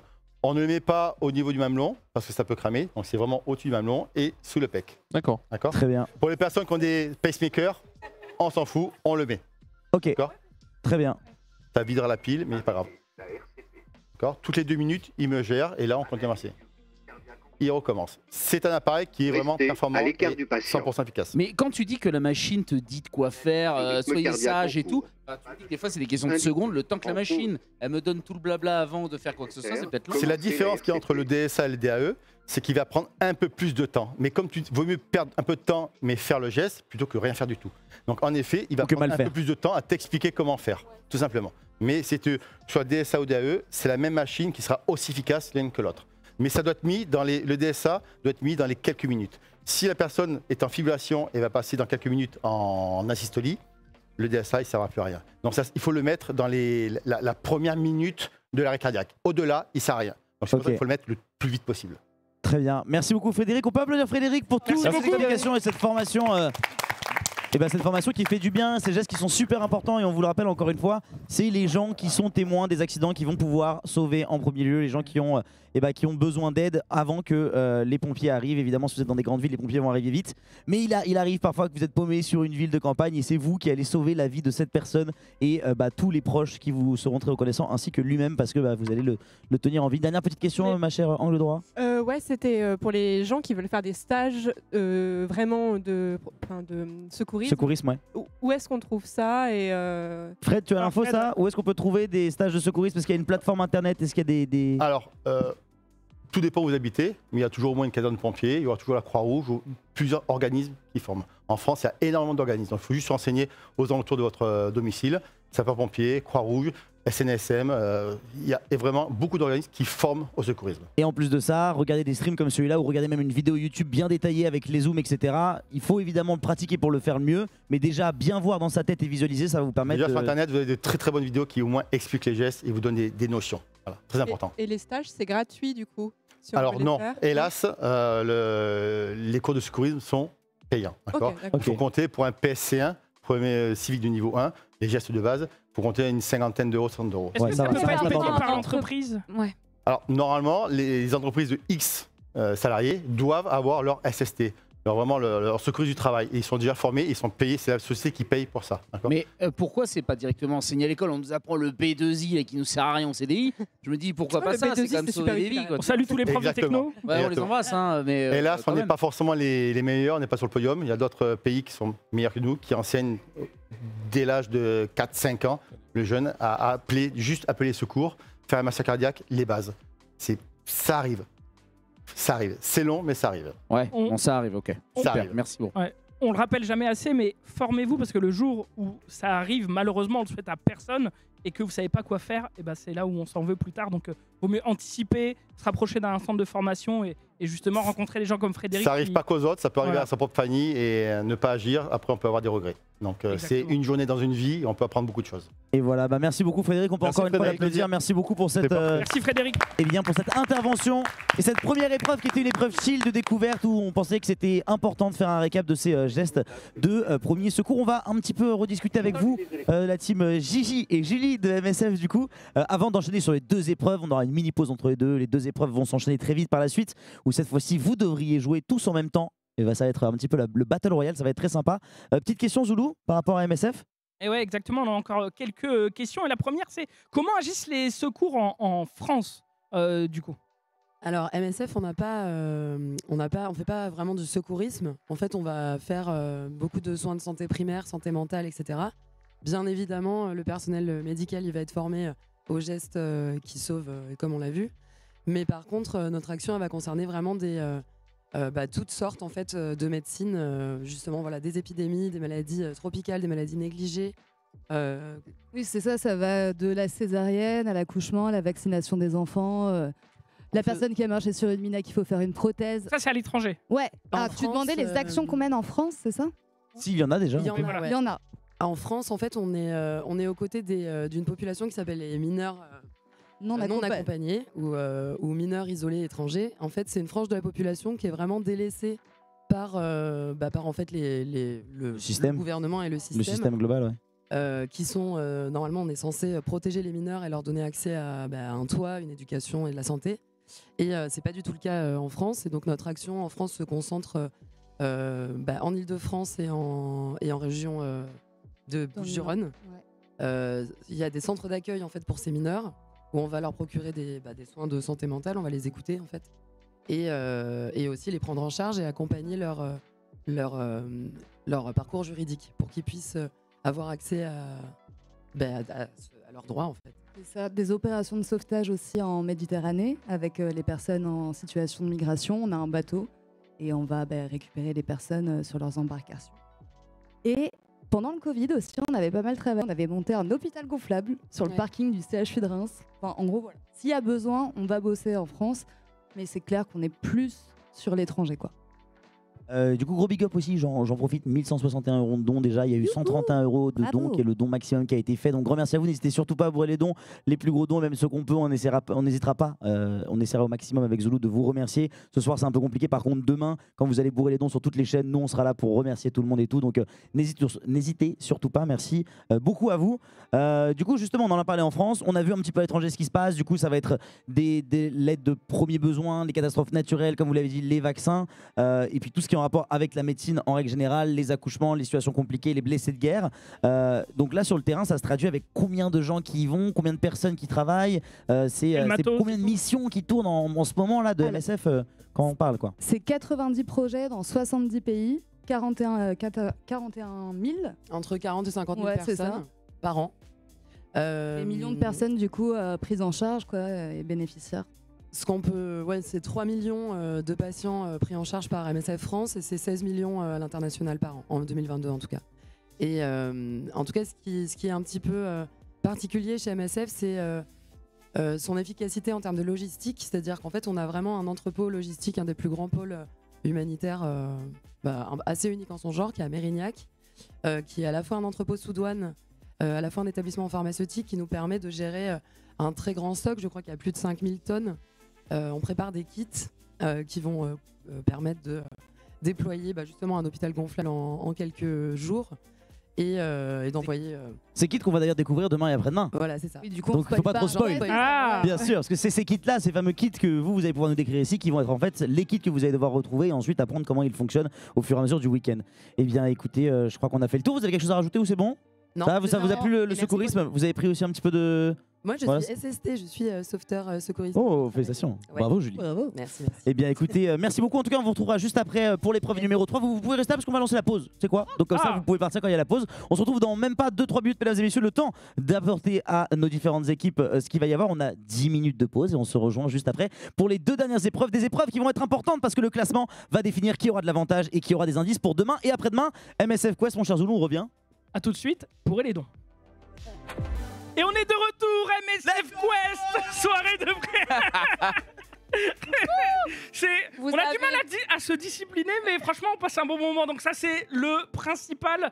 Je rappelle, soirée. Oh, les dons 2600 balles, let's go Attends, attends, je crois que tu l'as, t'as un truc à nous dire. Non, mais il y a quelqu'un qui a fait 1000 euros de dons. Merci beaucoup, Hiro, t'es le boss. Merci, merci. Incroyable. Y a- bah, un- fantastique. J'ai crié. Tout le monde a entendu. N'hésitez pas à donner tout le long de la soirée et tout le long du week-end pour Médecins sans frontières et rajouter des bonus ou des malus aux différentes équipes tout le long de- du week-end pour la course qui aura lieu samedi et dimanche. Mais avant ça, mon cher Lutti, je crois qu'on a une petite épreuve euh, géographie, c'est bien ça? Exactement, nous allons du coup avoir deux épreuves qui vont vous être données. La première épreuve et la suivante, vous avez tous récupéré une carte. Vous allez euh, évidemment quitter vos téléphones portables, vous en avez point besoin. Nous allons tout simplement vous... Alors, il y a deux épreuves. La première épreuve, euh, on sait pas si c'est bonus ou malus, c'est malus qui Ouais, sont c'est mis- ça en fait. Je me dis peut-être qu'il m'a mis en malus. Bah si t'as mis 1000 euros en vas malus, on bien applaudira plus fort. euh, mais... mais on verra, on verra, on le, J'espère saura, pas. on le saura très bientôt, on peut le savoir d'ailleurs sur le site. Du coup, il va y avoir... C'est en bonus. C'est en bonus. Ah, Il va y Marwan avoir, il va y avoir, du coup deux épreuves et cette fois-ci les épreuves vont vous donner du seeding, c'est-à-dire que vous allez être classés. Ceux qui vont faire les meilleurs résultats ce soir vont avoir plus d'indices et vont partir plus proche du lieu numéro 1 demain. Donc il faut pas être mauvais. Le but du jeu, c'est un peu du géoguesseur inversé. Vous allez avoir une carte de Montpellier devant vous. On va vous afficher sur l'écran en face de nous tout là là et derrière un point GPS mais ça va être très zoomé. Le but du jeu, c'est de trouver sur la carte où est-ce que c'est. Exactement, Ouais, sur, sur la, la grande grande. carte. Vous avez la le droit de vous mettre par terre, vous avez le droit de faire ce que vous voulez si vous voulez tryhard, vous avez le droit de vous mettre où vous voulez, c'est à vous de voir, vous pouvez vous asseoir à l'intérieur et tout. On avait dit qu'avec la, la taille C'est des cartes, c'est plus Montpellier- facile. C'est Montpellier seulement ou sa banlieue aussi Moment, moment il faut faudrait que rester tu dans restes le dans le champ, quand restes dans le champ quand même. Il faut rester dans le Alors, champ. alors, ça va être, ça va être Montpellier. C'est c'est de l'autre côté de la carte, je pense. Alors, un indice pour tout le monde, ce sera aussi affiché derrière vous sur euh, l'écran. Exact. euh, L'écran géant même pas derrière. mes donc, lunettes euh, en fait. Alors, ce qui va se passer du coup, c'est que vous allez voir un point qui va être très zoomé. Il va falloir le trouver. Dès que vous l'avez trouvé, vous dites Moi je l'ai. Je viens vérifier avec la tablette si vous avez trouvé le bon endroit. Si vous avez vérifié le bon endroit, vous validez la première place. Écoutez-moi tout le monde. Quand je, vais quand je vais valider la place de quelqu'un, si vous vous trouvez en même temps pendant que je vérifie, euh, dites J'ai aussi. Comme ça, on sait qu'il l'a avant, qu'il n'est pas. Vous voyez ce que je veux dire pour qu'on ait un classement clair. Si vous n'avez pas compris, vous allez comprendre de toute façon. Ça me fume, ça se nourrit. Elle est en train de manger des chips. Ok. Trivia. Bah, qui est en juste fait, ma- trivia. tu fais que manger euh, Trivia. Moi, je la suspecte de faire ça exprès pour alimenter les best-of. hein. Après, il y a des best-of euh, trivia qui mangent. avec des petits bruitages qui font nom nom à chaque fois Oui. qu'elle mange. C'est assez incroyable. Et dites-vous qu'elle mange quasiment plus hors champ que en champ. On on n'a pas une C'est- assez grande pause. Bien sûr, bien sûr. Euh, ok, vous êtes prêts? 3 je vais, On va afficher le premier point sur l'écran devant vous et derrière vous dans 3, 2, 1. Maintenant Il faut trouver la place Pablo Picasso avec le doigt, il faut la pointer. Oh, ça tryhard déjà. Hein. Et vous tryhard dites déjà. là quand vous l'avez. Alors, La place Pablo Picasso. C'est une place évidemment très connue. Ok, stop, Alors, ici, ici. vérifie. Deuxième, troisième. T'as éclaté ses oreilles? Euh, oui, c'est bon du côté de Moment. La deuxième, du coup, c'était vous en deuxième, on vérifie. C'est bon ici. Euh, Vous l'avez en effet. tous le fait Oui, oui, d'accord, vous êtes, vous êtes quatrième, ça va, ça sert à rien, ça sert à rien, c'est dans l'ordre que ça a été crié. Donc en troisième place, ça a été validé pour eux. Oui. La quatrième, c'est eux, on peut vérifier si le doigt est bon. Nous, on avait arrêté de chercher quand vous avez dit. Bien je joué. peux vérifier si le doigt est bon. Et vous Oui, il faut vérifier si le doigt est bon. D'accord. Et la cinquième, donc pour l'instant, le hein. classement 1 pour euh, Moment et Ligaya, 2 pour l'équipe des filles Little Big Whale et Angle Droit. Troisième pour Ponce et Ultia. Quatrième pour la team euh, Stratège. Et cinquième pour les aventurières. Ok Il y en a 5 comme ça à trouver. Vous êtes prêts pour le deuxième On fait un petit décompte On fait un petit décompte. On Allez, fait cinq, 5, 4, 3, 2, 1. Maintenant. On fait un décompte 100, 80... C'est un peu chiant. Où est le musée de la pharmacie C'est orange, c'est orange. Le musée de la pharmacie, mon cher Lutti, à Montpellier. Alors, effectivement, dans l'eau, on a des Montpelliérains ici. Alors, des néo-Montpelliérains pour, euh, pour certains, mais ça peut donner un petit Charles avantage et c'est comme ça. C'est comme ça pendant qu'on retourne la carte du côté euh, de la team euh, Angle Droit et Little Big Way. Alors moi, regarde, c'est Ouais, là. en effet, c'est plutôt stratégique de faire ça. Ah, t'as enlevé le point là. C'est ah, d'accord, ok. c'est le ok. point bleu. Donc euh, si vous voulez un petit indice, je peux peut-être vous le donner, c'est assez proche du Verdançon. Du Verdançon. Ouais, Verdançon, Verdançon tout ensemble, une fois que les vers seront dansés. Mais je sais que c'était Verdançon, j'ai compris, je refaisais la blague. Verdançon du coup. Ok, très bien, la régie m'a dit que j'étais pas drôle, ce qui est euh, plutôt avéré. Elle m'a dit ensuite un truc plus sympa que je ne vous répéterai pas. Ah, il y a des teams qui splitent la carte, d'autres qui font, qui cherchent en même temps. Il y a différentes euh, techniques. Différentes techniques et pour l'instant Là, on c'est trouve la pas partie, le musée euh, de la pharmacie. hein. On trouve pas le musée de la pharmacie. Oh, Euh, musée de la pharmacie, oui, c'est bon ici. Un, C'est ok, bon ici. deux, C'est bon ici. c'est trois, c'est- alors je crois que c'est eux juste avant, 4 ici et 5 là-bas. Non, c'est pas ça? Attendez, attendez, c'est quoi le- l'ordre? Alors on sait pas. On sait... Qui a eu? Alors ça a été très très close. Hein. C'est un Ça a été menteur, très très il faut pas close. l'écouter. Moi je C'est qui? propose qu'on regarde mais la VAR. Soyez fair, vous savez qui Non, c'est on qui est tous fait en premier ensemble. hein. Ah, mais Ça c'est sûr, mais je Ce qui est pense- sûr, c'est que Ted- la team de Ted et euh, Precias. Et la team de 2 c'est Ici, et Ultia, ça c'est sûr. Après, je sais pas. Ok, on, On va tous vous mettre le même point du coup, parce que vous avez quasiment trouvé tous au même moment. Est-ce que vous l'avez tous trouvé Vous pouvez me le pointer du doigt, s'il vous plaît hein. Pas du tout. Ouais, c'est où, c'est où Si ça se trouve. Bien joué, c'est ici en effet. Donc c'est au croisement entre la voix dominicaine et euh, euh, Charles euh, Flao, si je dis pas de bêtises. C'est bien ça? C'est marrant que tout le monde trouve en même temps quand même. Ouais, c'est c'est ouf. C'est étrange. C'est étrange. Ah, mais Moment a triché sur Moi, moi. je balance l'ai pas. vu. Nous, on triche pas parce qu'on regarde là. Eux, dès qu'ils trouvent quelqu'un, ils font Ah, ok, c'est là-bas. Vas-y, on y va. Ah, Moment, un moment, il a regardé sur nous. Ouais, d'accord. Allez, petit point de classement. Let's S'il go. vous plaît, en régie, est-ce qu'on peut avoir euh, les points qui vont s'afficher? Alors, ça s'affiche en retour là-bas. Euh, c'est effectivement très très loin mais on va peut-être avoir un affichage un petit peu. Ah, voilà, on l'a. Si, juste ici. Donc, Alors, les détectives à 7 points, les stratèges à 7 points, les éclaireurs à 8 points, 4 points pour les aventuriers et 7 points pour les sprinteuses. Ok, on va enchaîner avec le troisième point, on se fait un petit décompte. Attention, on va arriver un peu plus de la moitié, vu qu'il y en a 5 au total. 20. Le troisième point dans 10, 5, 4, 3, 2, 2 1. C'est maintenant, il faut trouver le château de la piscine. Oh, oh là oh, là oh, là là là là là Tonnel, là, là, là. C'est validé, c'est validé ici. Château 2, C'est pas là, c'est pas là. 2, 3. Zoulou, elles l'ont eu, elles l'ont eu, je crois. Alors, Quatre. ouais, mais elles, elles- elles se sont pris à deux fois. Oui, mais elles, elles ont dit là, elles ont dit là la deuxième fois avant. Alors, l'ordre, l'ordre c'est Ponce et Ultia. Ponce et Ultia. Pour moi, c'est Juliette et. Parce qu'elles ont donné une mauvaise réponse, mais elles l'ont trouvé la bonne réponse avant. Mais attendez, attendez. Non, mais attendez. Il faut être honnête avec soi-même. Elle copie, oui. Il triche. Elle copie, oui. C'est-à-dire que si ça triche. Attendez. Alors, moi, je... En fait, Moi, je vais on a rester à la mis le première doigt- place, je vais rester ici au milieu. Et c'est-à-dire que vous allez travailler pour moi. Allez-y. Dès qu'il trouve, je serai, je serai deuxième. Et c'est ce qu'ils font. Je ne valide pas. Non, si je peux dire quelque chose, on a mis le doigt sur la. Ouais, c'est bon, oui. Le La rue doigt, ouais. au-dessus. Ah, mais c'est. Ah, bah oui, mais c'est à côté. Ok, du coup, Ah, vu que, vous que vous trichez délibérément pour trouver à peu près la place, mais que vous l'avez quand même trouvé, on va vous mettre troisième. Donc on met deuxième euh, Pressa et, euh, et, Et et Ted. Ted, c'est ça? C'est Pressa ou Pressa? Pressa. Presséa. Excuse-moi, Pressa. Pressa, du coup. Troisième pour vous, quatrième pour vous, vous avez trouvé, non? Vous avez pas trouvé? Vous avez trouvé avant ou vous avez trouvé en 4 Vous avez trouvé en 4 du coup Ouais, en 4. Et en 5, du coup, vous avez quand même trouvé, les gars, il y a un moment, faut trouver, sinon vous avez pas le point. On a trouvé, hein. Ah, c'est où? Moi, je veux bien voir. Mais On a, on a arrêté. On Mais montre-moi moment, montre-moi, Si tu non, trouves moi, pas, t'as pas le point, Non, moment. moi, tu vois, j'ai pas le point, moi je, je suis bon joueur. J'ai vu quelqu'un pointer, vas-y, c'est bon. Moi je triche pas. Allez. Très bien. Et bah écoute, moment ne triche pas et gagne 8 points euh, pour loyauté. Et, euh, non, Quoi? non, Mais moi non plus, je triche pas. Non mais. Il gagne pas de points cette triché, blague. hein. Non, en fait, il y en a que deux qui trichent pas. Vous êtes prêts ou pas? Ouais. On fait le quatrième point et je vais me mettre à un endroit stratégique pour que Juliette et Ariane Ah ne regardent pas sur leurs copains quand ils trouvent. On est dernière, on veut pas Nous allons. tricher. Oui, bah, oui, vous étiez déjà nuls sans tricher, vous allez continuer à être nuls. 3, 2, 1. Il va falloir trouver maintenant le bois de la chaumière. En plus, excuse absolument pas validée. On est dernière, on peut pas tricher. C'est absolument tout le contraire, justement. T'es dernière, t'as Le envie. bois de la chaumière. Petite aide ou pas, je vais voir si vous galérez, mais je vous dirai après. Il y a des bus. C'est pas dans Montpellier vraiment. Ouais, alors, euh, C'est une petite aide et. j'ai entendu, j'ai entendu là-bas, il y a des bus. C'est un indice, euh, effectivement. Effectivement, on voit des, des- des arrêts de bus. Y a pas les trams ni rien en fait, c'est trop dur. Le bois de la chaumière, c'est plutôt. C'est plutôt à l'est À la de Montpellier. Oh, Ça a été oh, trouvé en oh, premier par si, les gars il y a si. moment. Oui, c'est validé ici. Validé en deux par Ponce et pas. C'est validé ici. Je ne parlais pas de vous. Le bois de pas la de vous, chaumière, parlez de- c'est. Merci, merci. Regarde, regarde. Vous êtes, vous êtes pas loin, ça chauffe ici en vrai, je vous aide un peu parce que vous êtes nuls. Ouais, alors en 1, moment, Eli Gaïa. En 2, En 3, Little Big Whale et angle droit. Ah, ils ont trouvé avant, malheureusement, vous êtes encore cinquième, désolé. Quatrième pour Ted et Pressa et cinquième pour Aureliane et Juliette. Pas de bus parle bien dans le micro.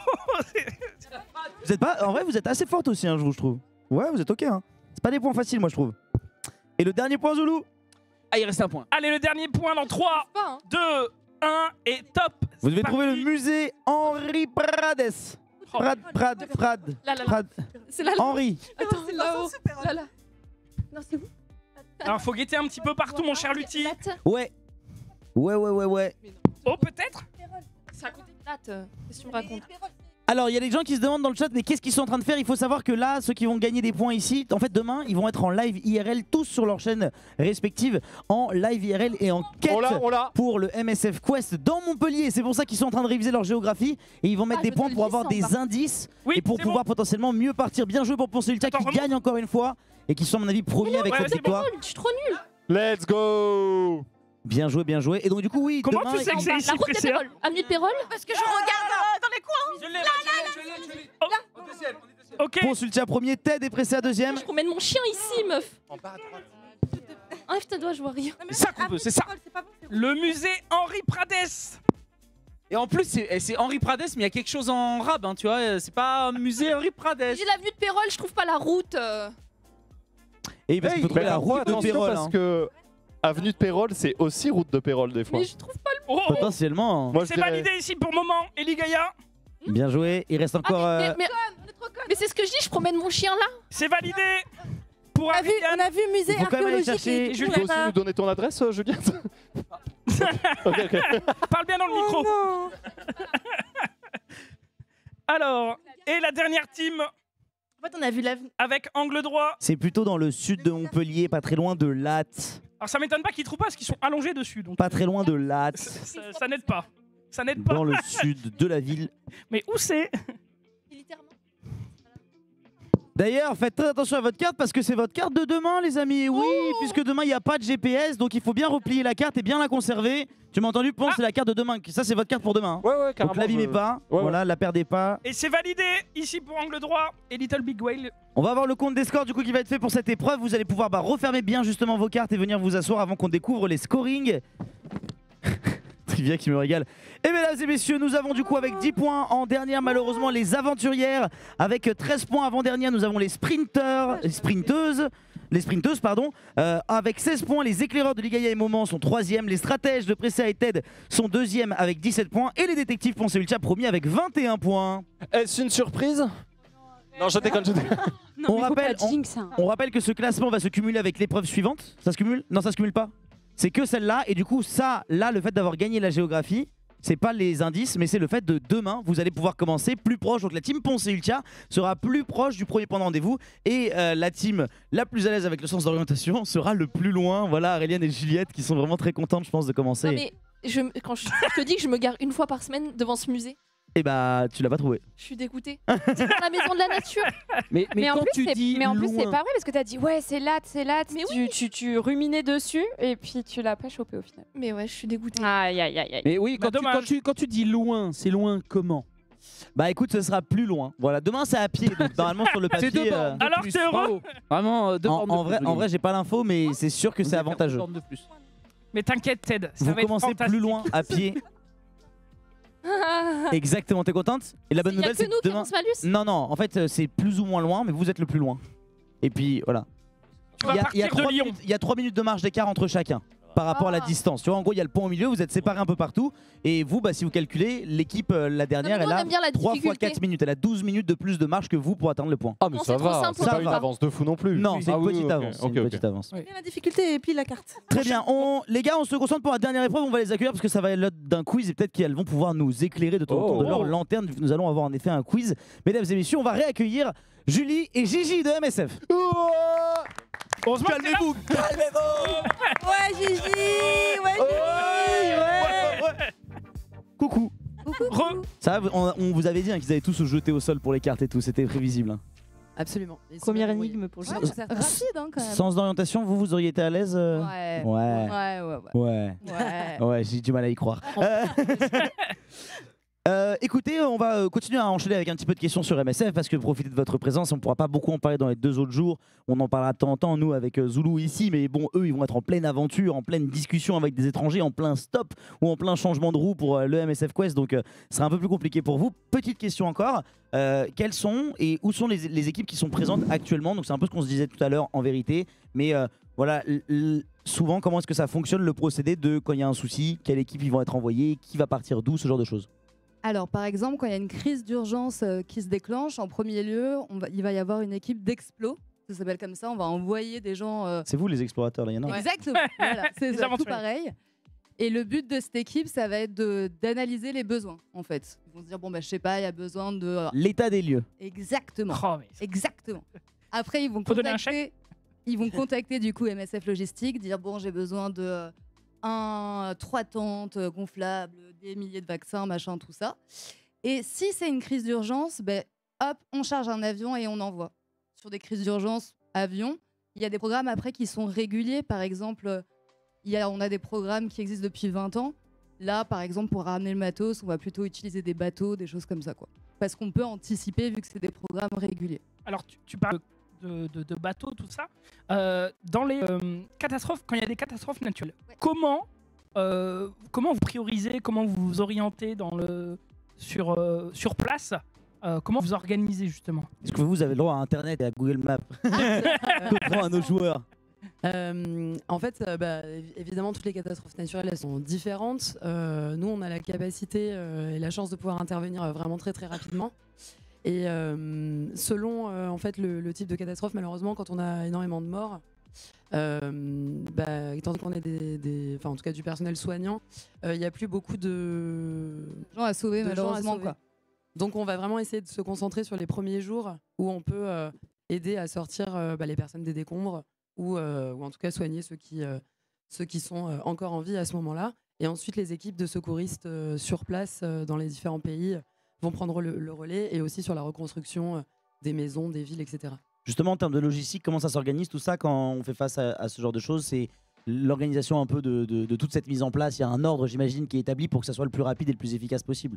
En gros, tu as des, t'as des milliers de kits qui sont déjà tout prêts. En fait, euh, là, s'il y a un séisme quelque part, à la base logistique à Mérignac, les kits sont prêts, ça charge, ça part. Donc c'est des kits spécialement faits Exactement. pour amener tous les premiers secours dus pas à de cette spoil, catastrophe-là. de- Oui, voilà. Ça fait On en partie des kits. parlera. mais Ah, du ben coup, oui, c'est du coup, ça. ces kits-là qu'on va voir demain, c'est des vrais kits qui existent et qui C'est sont ça. vraiment envoyés en mode c'est cette ressource-là dont on a besoin dans cette situation en priorité. Donc on vous envoie des milliers de kits de cette situation. C'est ça. Et avec 50 ans de, plus de 50 ans d'expérience, on sait exactement euh, répondre à différents besoins et on, on innove encore chaque année pour la création Et- de nouveaux kits. Et comment on envoie les- ces kits sur place? Alors, il y a environ une quarantaine de pourcents de transport euh, maritime. On fait du transport aérien et euh, du transport routier. Par exemple, en 2022, euh, avec l'Ukraine, on a fait beaucoup de, beaucoup de routes. Voilà. D'accord. Ça dépend des années. Et c- ça existe des largages de kits?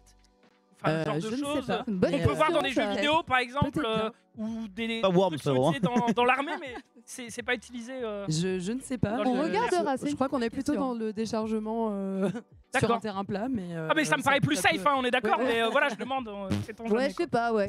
On, on se renseigne. En tout cas, enfin, s'il y a un moyen de transport un petit peu emblématique, ça va être euh, les voitures euh, MSF qui sont euh, des, des jeeps euh, qu'on personnalise, euh, qu'on transforme en ambulance, euh, qu'on, dote de pare-buffles pour qu'elles puissent aller vraiment euh, bah, sur tous les terrains tout, ouais. accidentés. euh, Ouais, sur les endroits plus ou moins accessibles. Enfin, dernière question euh, par rapport aux spécificités et les moyens de transport qui sont utilisés, mais aussi euh, là on voit ces milliers de kits. Nous on va en avoir 8 demain, je crois. Est-ce que c'est tous les kits disponibles actuellement ou il y en a beaucoup plus que ça et vous nous avez mis juste une sélection? Il y Vous en pas trop? 500, euh, en fait, Il y en a 500 500 kits différents? Donc on refera 500 MSF Quest jusqu'à MSF Quest 37 du coup pour faire 37 x 5 et ça va faire beaucoup de. Il y a, il y a- il y a plus de 500 kits différents. Et dans chaque kit, on peut avoir des modules aussi. Donc, par exemple, le kit hôpital gonflable, il peut avoir un module euh, euh, avec une salle d'opération, une salle d'accouchement. C'est fou. Et Ça en fait un kit Attends, c'est gros, c'est petit, En ça fait, dépend, les- ça dépend les- des kits du coup. Tu peux avoir des kits, euh, bah, de- des kits qui font plusieurs euh, tonnes en fait, qui vont avoir euh, de quoi euh, euh, mettre à l'abri, euh, par exemple, 10 000 personnes pendant 3 mois. Donc ça fait de la, c'est pas des petits. Et ça c'est préparé à l'avance. Ouais, c'est prêt. C'est quoi C'est dans de des conteneurs C'est euh, C'est dans un entrepôt. euh, c'est dans un entrepôt qui se trouve à Mérignac. C'est On a- 18 000 mètres carrés. C'est un gros gros truc. Ok. Euh, c'est pas un petit entrepôt quoi. Ouais, ouais, ouais. Ah bah un hôpital gonflable, j'imagine que bon, c'est. Ouais, c'est ça. C'est- ça marche pas comme dans Fortnite où t'appuies sur un bouton et ça fait vraiment un hôpital. Il faut quand même qu'il y ait des trucs, tu vois, qui soient La là. valise. RTL. Est-ce que, est-ce que quelqu'un a une question un petit peu sur euh, comment ça fonctionne ou on n'est pas voilà si euh, je sais qu'ils sont très préparés pour le quiz qui va arriver juste après. Vous allez rester avec nous pour le quiz d'ailleurs. On va voir un petit peu si vous allez vous aussi réussir à répondre aux différentes questions. Euh, en tout cas, bah, merci beaucoup. Si vous avez les moindres questions dans le chat, n'hésitez surtout pas non plus. Et puis on n'hésite pas à y répondre. Et puis de toute façon, toutes les informations sont sur le site de MSF aussi. Hein. Oui. Bien sûr. Parce qu'il y a beaucoup de trucs sur les réseaux sociaux et il y a beaucoup de choses sur le site internet. Et même sur le site MSF Quest, vous pouvez faire des liens. Il y a des liens qui vous ramènent vers les actions de MSF. Tout à fait. Voilà, ça a été très bien bossé par vous et par toute l'équipe de com et donc c'est très bien expliqué. Mais euh, c'est assez impressionnant de se dire quand même qu'il y a 500 kits différents et que dans les 500 kits, il y a des catégories de kits aussi et que nous on va en trouver 8. Et déjà les 8 à expliquer, à découvrir, ça va être intéressant. Donc il y en a vraiment énormément et c'est euh, assez ouf. Est-ce euh, qu'on va voir le kit hôpital? Moi, c'est ça que je veux savoir. Je crois que. Est-ce que, est-ce que tu génial. déplaceras les 4 tonnes mais, euh, mais oui, oui, je, je- il me semble que j'ai entendu parler potentiellement d'un kit hôpital. Euh, gonflable, on verra bien. Euh, on enchaîne avec le quiz? Exactement. Et je suis en train de chercher euh, justement les, Les questions? les questions et je crois que j'ai que les réponses en fait. Ouais, il faut Ouais, faire gaffe. ouais, on va faire attention. Alors, attends. Ouais, fais bien Eh, attention là, il y a les deux hein, tricheuses. Hein. Non, c'est là. C'est là les J'ai été faire Tu vois les je suis questions, ça, moi-même. hein. C'est bien, c'est bien, c'est bien. Ça, c'est juste. euh, Ah oui, Ah, attends. il a les questions sur le PC. Parce que il Ouais, non, si, si, si, si, je l'ai, je l'ai, regarde. Ah, j'ai fait Vrai ou faux ouais. Ok, c'est un vrai ou faux du coup. On va commencer par la team de Ultia et de Ponce. Oh, ok. Donc Ouais. c'est team par team. On joue team bien sûr team. pour gagner des points et pour avoir des indices euh, et des bonus du coup. C'est un euh, Kipo ce quiz, c'est un vrai ou faux. Donc si tu sais pas, t'as une chance sur deux, frérot. Donc ça va. Est-ce que Louis Pasteur est l'inventeur de la vaccination? Vrai ou faux? Donc Pasteur, évidemment, on rappelle aussi. Est-ce que c'est l'inventeur Alors, un piège. on sait que c'est connu. On, mais on sait, oui, on sait, euh, on sait ce qu'il a Bien fait, sûr. d'accord, euh, la rage. Mais du coup, Est-ce que c'est Est-ce l'inventeur que c'est le- du système de la vaccination ou que du vaccin pour la rage? C'est ça la question. Le chat est évidemment interdit. toi, tu dirais faux? Tu penses que c'est un piège? Tu prends pas de décision. Ouais, d'accord. Alors on l'entend pas si elle a pas de micro. Elle dit qu'elle. Non, mais je dis que c'est un piège, je pense, mais que j'ai envie de dire faux pour ça. Mais si ça se trouve, euh, je me trompe. C'est 50-50. Ah, il va falloir n'est pas hein. mauvais. La question qu'on se pose, c'est est-ce que c'est du coup bah, vaccin contre la rage Est-ce que c'est le premier vaccin, quoi, Et littéralement en fait, c'est ça la question. du coup. C'est ça. Et en vrai, en... On l'a appris à l'école, en plus, c'est horrible. ouais. Oui, mais, Ouais. oui, mais tu vois, du coup, est-ce que quand on a appris à l'école euh, euh, Pasteur, vaccin contre la rage, découvert du coup du système de vaccination, tu vois En vrai. Moi, tu sais quoi? J'ai envie de clutch. Me regarde pas comme ça. Non? On dit, on dit quoi? T'as raison. Vas-y. Tu sais quoi Je vais suivre ton. je- L'erreur. Tu vas suivre le call Moi- le moi, call, je- tu t'en voudras pas comme ça au moins. Moi- Moi, je pense que c'est le bon. Viens, je clutch et au pire c'est pas. On est premier. Oh, Alors le attention, flex attention, attention. Si je dis pas de bêtises en régie, on va me dire. Chaque épreuve est. Il me semble que l'épreuve d'avant c'était pour être plus proche. Là, je vous ai pas dit, mais ce qui va se passer, c'est qu'il y a une question, deux questions par équipe. Et s'il y a égalité, il y aura des petits mini-jeux à la fin de au plus proche pour euh, pouvoir vous départager. Et ceux qui sont pro, il y a, et- écoutez-moi bien, il y a six indices qui vont être distribués, trois pour l'équipe qui sera première, deux pour l'équipe qui sera deuxième, un pour l'équipe qui sera troisième, et les deux dernières équipes n'auront pas d'indices. Est-ce que c'est bon pour vous? Et ça, c'est les indices sur les énigmes. C'est- parle dans le micro, parle dans le micro. Et confiance en toi, Et confiance en toi. Nous, on mise Bah oui, sur le mais 50-50 ici. Hein. Alors, Non, réponse. et confiance en toi. Toi, t'as l'air sûr de toi sur le. Vas-y, je Non, non, tente. faut y aller. hein. Moi, je vais Vas-y, dire. tente, tente. Je vais dire vrai. Et la réponse était qu'un médecin britannique est généralement crédité de la création de la première vaccination utilisant le vaccin contre la variole. Et c'était Edward Jenner. Et donc non, c'était faux. La Trop variole. triste Oh non, désolé les gars, putain. Mais fallait Oui, mais tenter. il le savait Vous pas, que tu m'écoutes jamais en fait. Il Oh la malhonnêteté, t'as dit littéralement ouais moi je dirais faux mais ah j'ai pas envie de choisir. Oui, parce qu'après, euh, j'ai peur qu'on me dise que je suis nulle. Bah du coup il a choisi et tu lui dis qu'il est nul.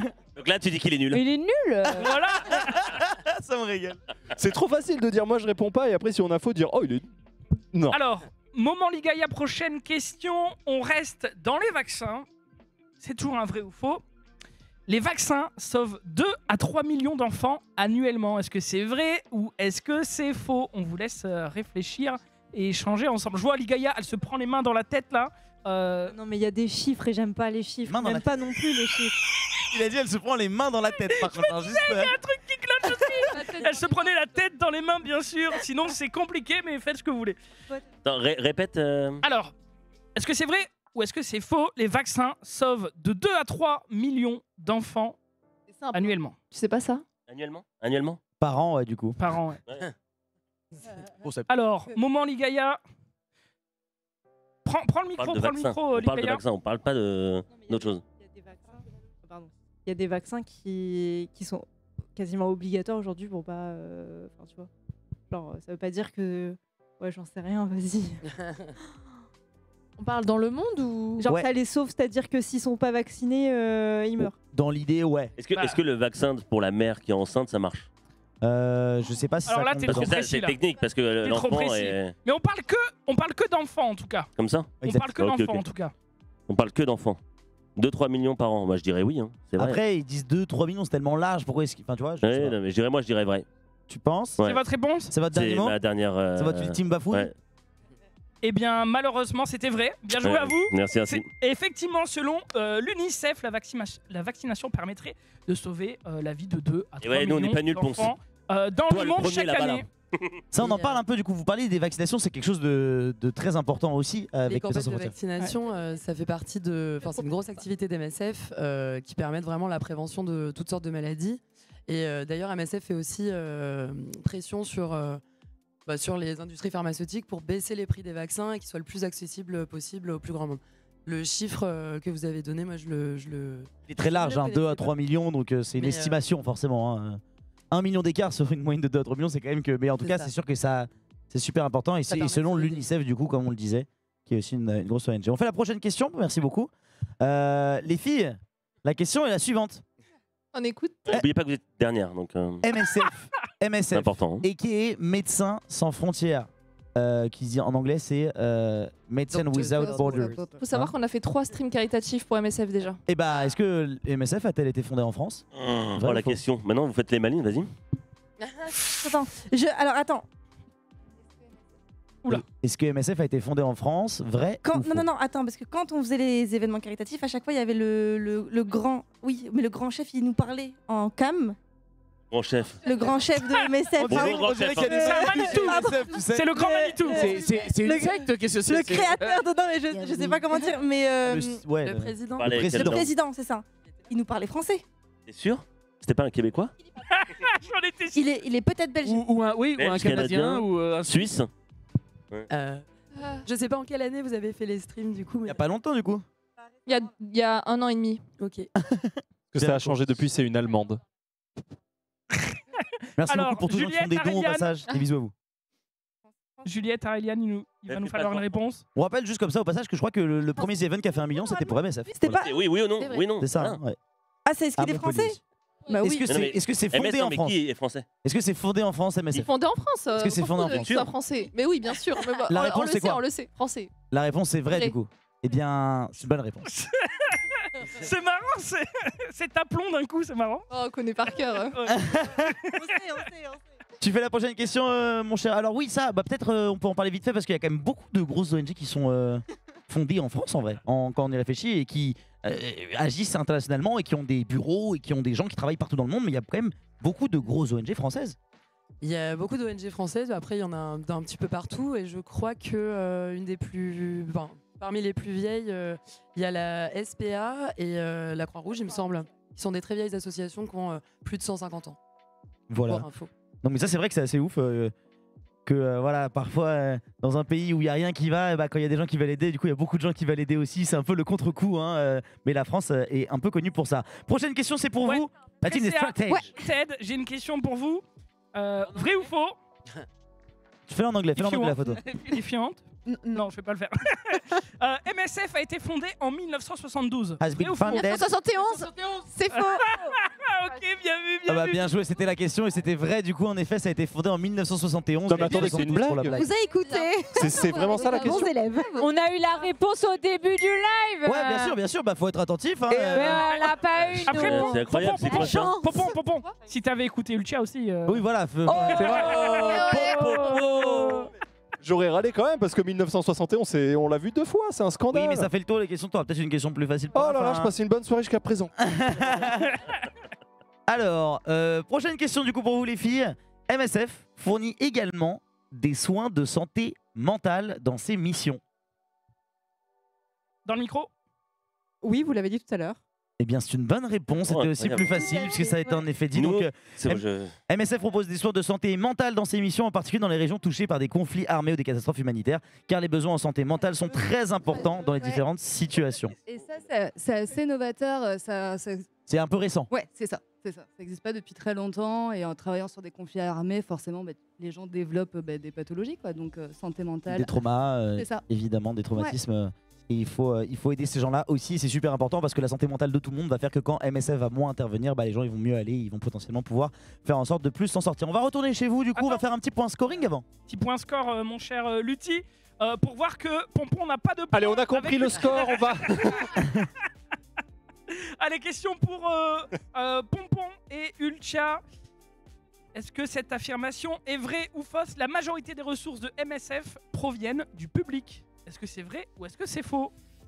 Euh, si, si on veut dire que oui, elles ont dit tout à l'heure que c'était les donations Alors, qui comptaient. alors attention, hein, euh, on- je répète bien la question. Les majorités des ressources MSF proviennent du secteur public ou du secteur Ah, privé. Donc là, la question c'est est-ce que la majorité des ressources MSF proviennent du secteur Ben public? non, elles ont dit tout à l'heure que c'était. euh, ouais, voilà. Donc non.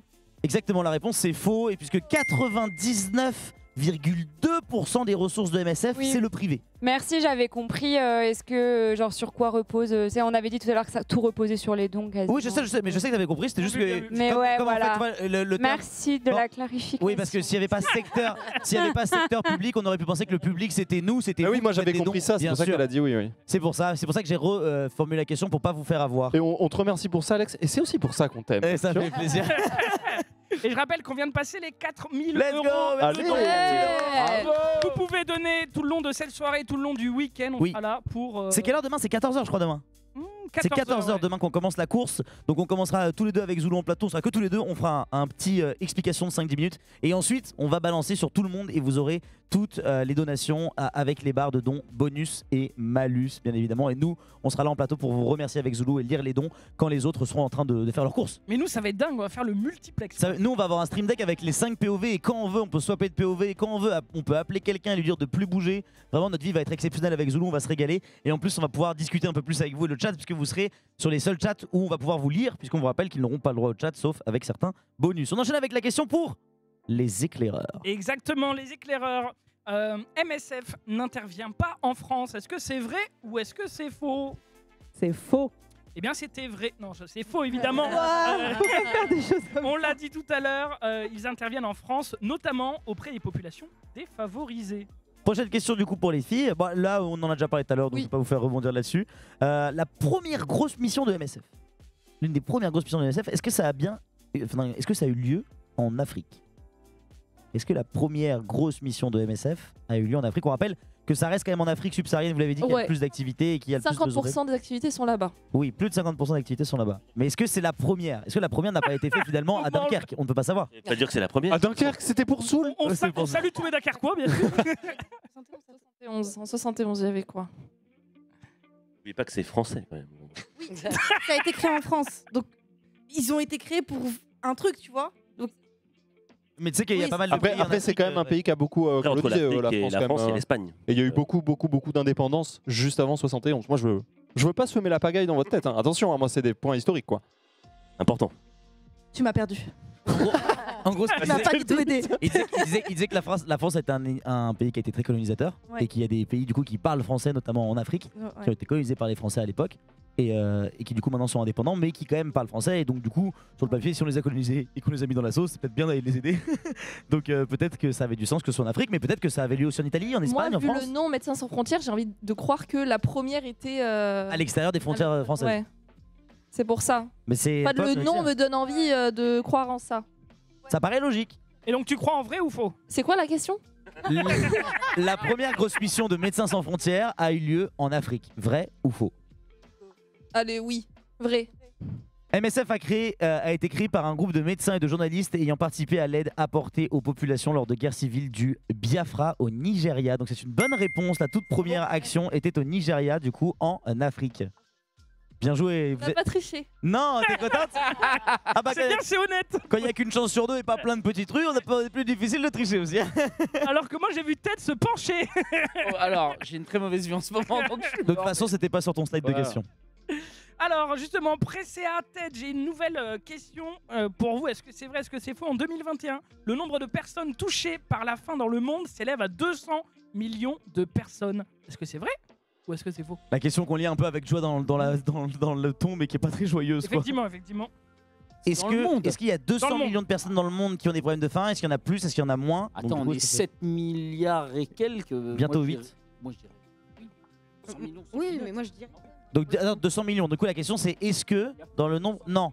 Dans le monde, est-ce que ça s'élève à 200 millions de personnes? Ah, C'est plus, c'est moins ou c'est 200 millions? Pour toi, c'est beaucoup plus. Donc du coup, mon affirmation, elle est vraie ou elle est fausse? ah, C'était vrai. Mais- Non. Pour moi, a- c'est vrai. Pour moi, c'est vrai. Je te, ah, je te répète la question. En 2021, le nombre de personnes touchées par la faim dans le monde s'élève à 200 millions de personnes. Est-ce que c'est vrai ou est-ce que c'est faux? Est-ce que c'est 200 millions pile? Parle dans le micro, euh, Ted. Moi, je dirais faux parce que c'est. Je pense plus, mais toi, tu penses quoi? Ah, pour moi, c'est vrai. Pour moi, c'est c'est le bon chiffre. Pour toi, 200 millions, c'est le bon chiffre. Ouais. 21. Allez, vas-y, on me fait faux. Je te fais confiance. Je te suis sur Oh, le col. oh non. Oh Si c'est bon me faire une consultia dans deux minutes. T'as vu? À chaque fois, on se fout dans la sauce merde. C'est quoi ce Alors Ted, est-ce que tu vas regretter ou pas? Bah, moi, je pense. C'est faux. Il y a Alors, plus que 200 millions. Écoutez, euh, dans le monde, en effet, on est bientôt euh, 7-8 milliards. Il y a malheureusement de plus en plus de gens euh, qui ont euh, des soucis avec la faim. Et en vérité, ce n'est pas 200 millions, mais bel et bien 820 millions de personnes qui sont touchées par la faim dans le monde en Ah, comme quoi, 2021. fallait que je Donc c'est 4 fois plus.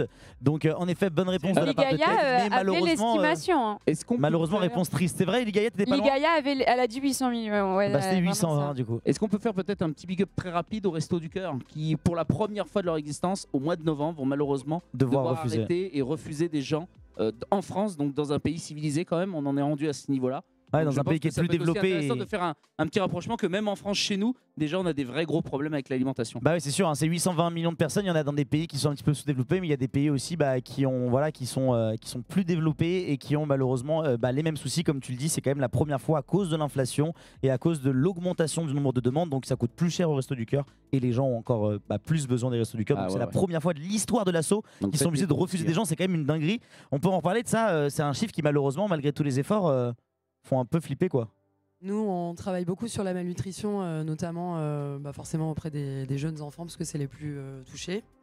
Et d'ailleurs, on, découvrira demain un kit pour en parler un peu plus en détail, donc je ne veux pas spoiler. Mais effectivement, c'est un fléau assez, répandu, malheureusement, mais sur lequel on travaille. Il y a des, il y a des solutions pourtant à mettre en place, et malheureusement, il faut qu'il y ait des, associations comme la nôtre ou comme les Restos du Cœur et, bien d'autres qui, qui travaillent dessus, et parfois un peu tout seul. Voilà, merci beaucoup. On va pouvoir enchaîner, mon cher Zoulou. Ouais, on va parler d'apport énergétique. Alors la team des sprinteuses, je crois. euh, L'apport énergétique nécessaire à la bonne santé d'un enfant de 5 ans est 2400 calories. Kilocalories, parce que calories, il va, il va crever le gamin. C'est Elle est dure cette question. Oui, elle est pas c'est facile. pas, c'est pas facile. Est-ce qu'on parle d'une enfant comme Trivia Ouais, parce que j'allais dire, j'allais dire. Elle était déjà à 3000, tu vois. Du coup, pour un, on- je sais pas si vous savez à peu près ce que c'est euh, le taux pour un adulte, peut-être que ça peut vous indiquer, mais du coup, est-ce que pour un enfant de 5 ans, c'est environ de 1400 kilocalories? C'est un peu du pifomètre, je m'en doute, mais Ça voilà. me paraît beaucoup et d'un autre côté, ça pousse. Enfin, c'est- Ah, le truc, c'est qu'on on sait Ça que, pousse, je sais hein. pas si vous vous rappelez-vous quand vous étiez gosse, mais moi j'étais capable de manger énormément euh, parce que déjà on se dépense plus quand on est gosse, mais surtout parce que bah, justement on a le processus, euh, Bah ouais, c'est ça. tu vois, on grandit quoi. T'en as besoin de débrief. Ah, je peux dire qu'un gamin ça bouffe. hein, J'en change des couches. hein, Moi j'étais capable d'enchaîner 4 croques, monsieur. Pas un, pas deux, pas trois, quatre croque-monsieur. Ma mère, Et, elle et le mien, il veut même pas manger le sien, quoi. genre. Après, le tien, il est encore tout petit. il a Alors, n'hésitez pas à mettre le micro pour qu'on entende un petit Ouais, peu les filles, votre les filles, on veut bien votre débat au micro. Ça nous intéresse. On disait qu'un adulte, c'est entre 2000 et 2500, suivant ton, ton genre et ton activité. Euh, Alors, 1500, est-ce que c'est En fait, beaucoup pour un 1400. enfant ou pas que 1400, c'est- ça paraît beaucoup pour un petit enfant de 5 Ouais, ans. ouais, bien sûr, même. mais. Mais, euh, mais en même temps, il grandit, donc on sait pas. Après, il fait la même journée de 24 heures que toi, quoi. Tu vois ce que je veux dire Il court vachement il court plus. vachement plus que moi qui suis à mon bureau. euh, C'est vrai. t'inquiète, hein. Un enfant peut plus manger en termes de quantité sans en grossissant moins aussi sur le papier. Mm. S'il mange bien. Enfin, en termes de- d'apport calorique, pas forcément de qualité de nutrition. bien En vrai, sacrée question quand même. Ouais, elle est pas évidente, mais c'est un vrai ou faux. Donc c'est pour ça aussi qu'on peut avoir des questions un peu difficiles parfois. 1004. 1004. T'as envie de dire. Ouais, bah, euh, disons vrai. Eh bien écoutez, un enfant Ouais, de on 5 dit ans, vrai. sauf Trivia qui avait besoin de 1800, avait bel et bien besoin de 1400 kilocalories. non, c'est pas vrai, Trivia, évidemment, toi aussi tu avais besoin Moi, de j'avais 1400 besoin de 2000 kilocalories. à l'époque. je courais beaucoup.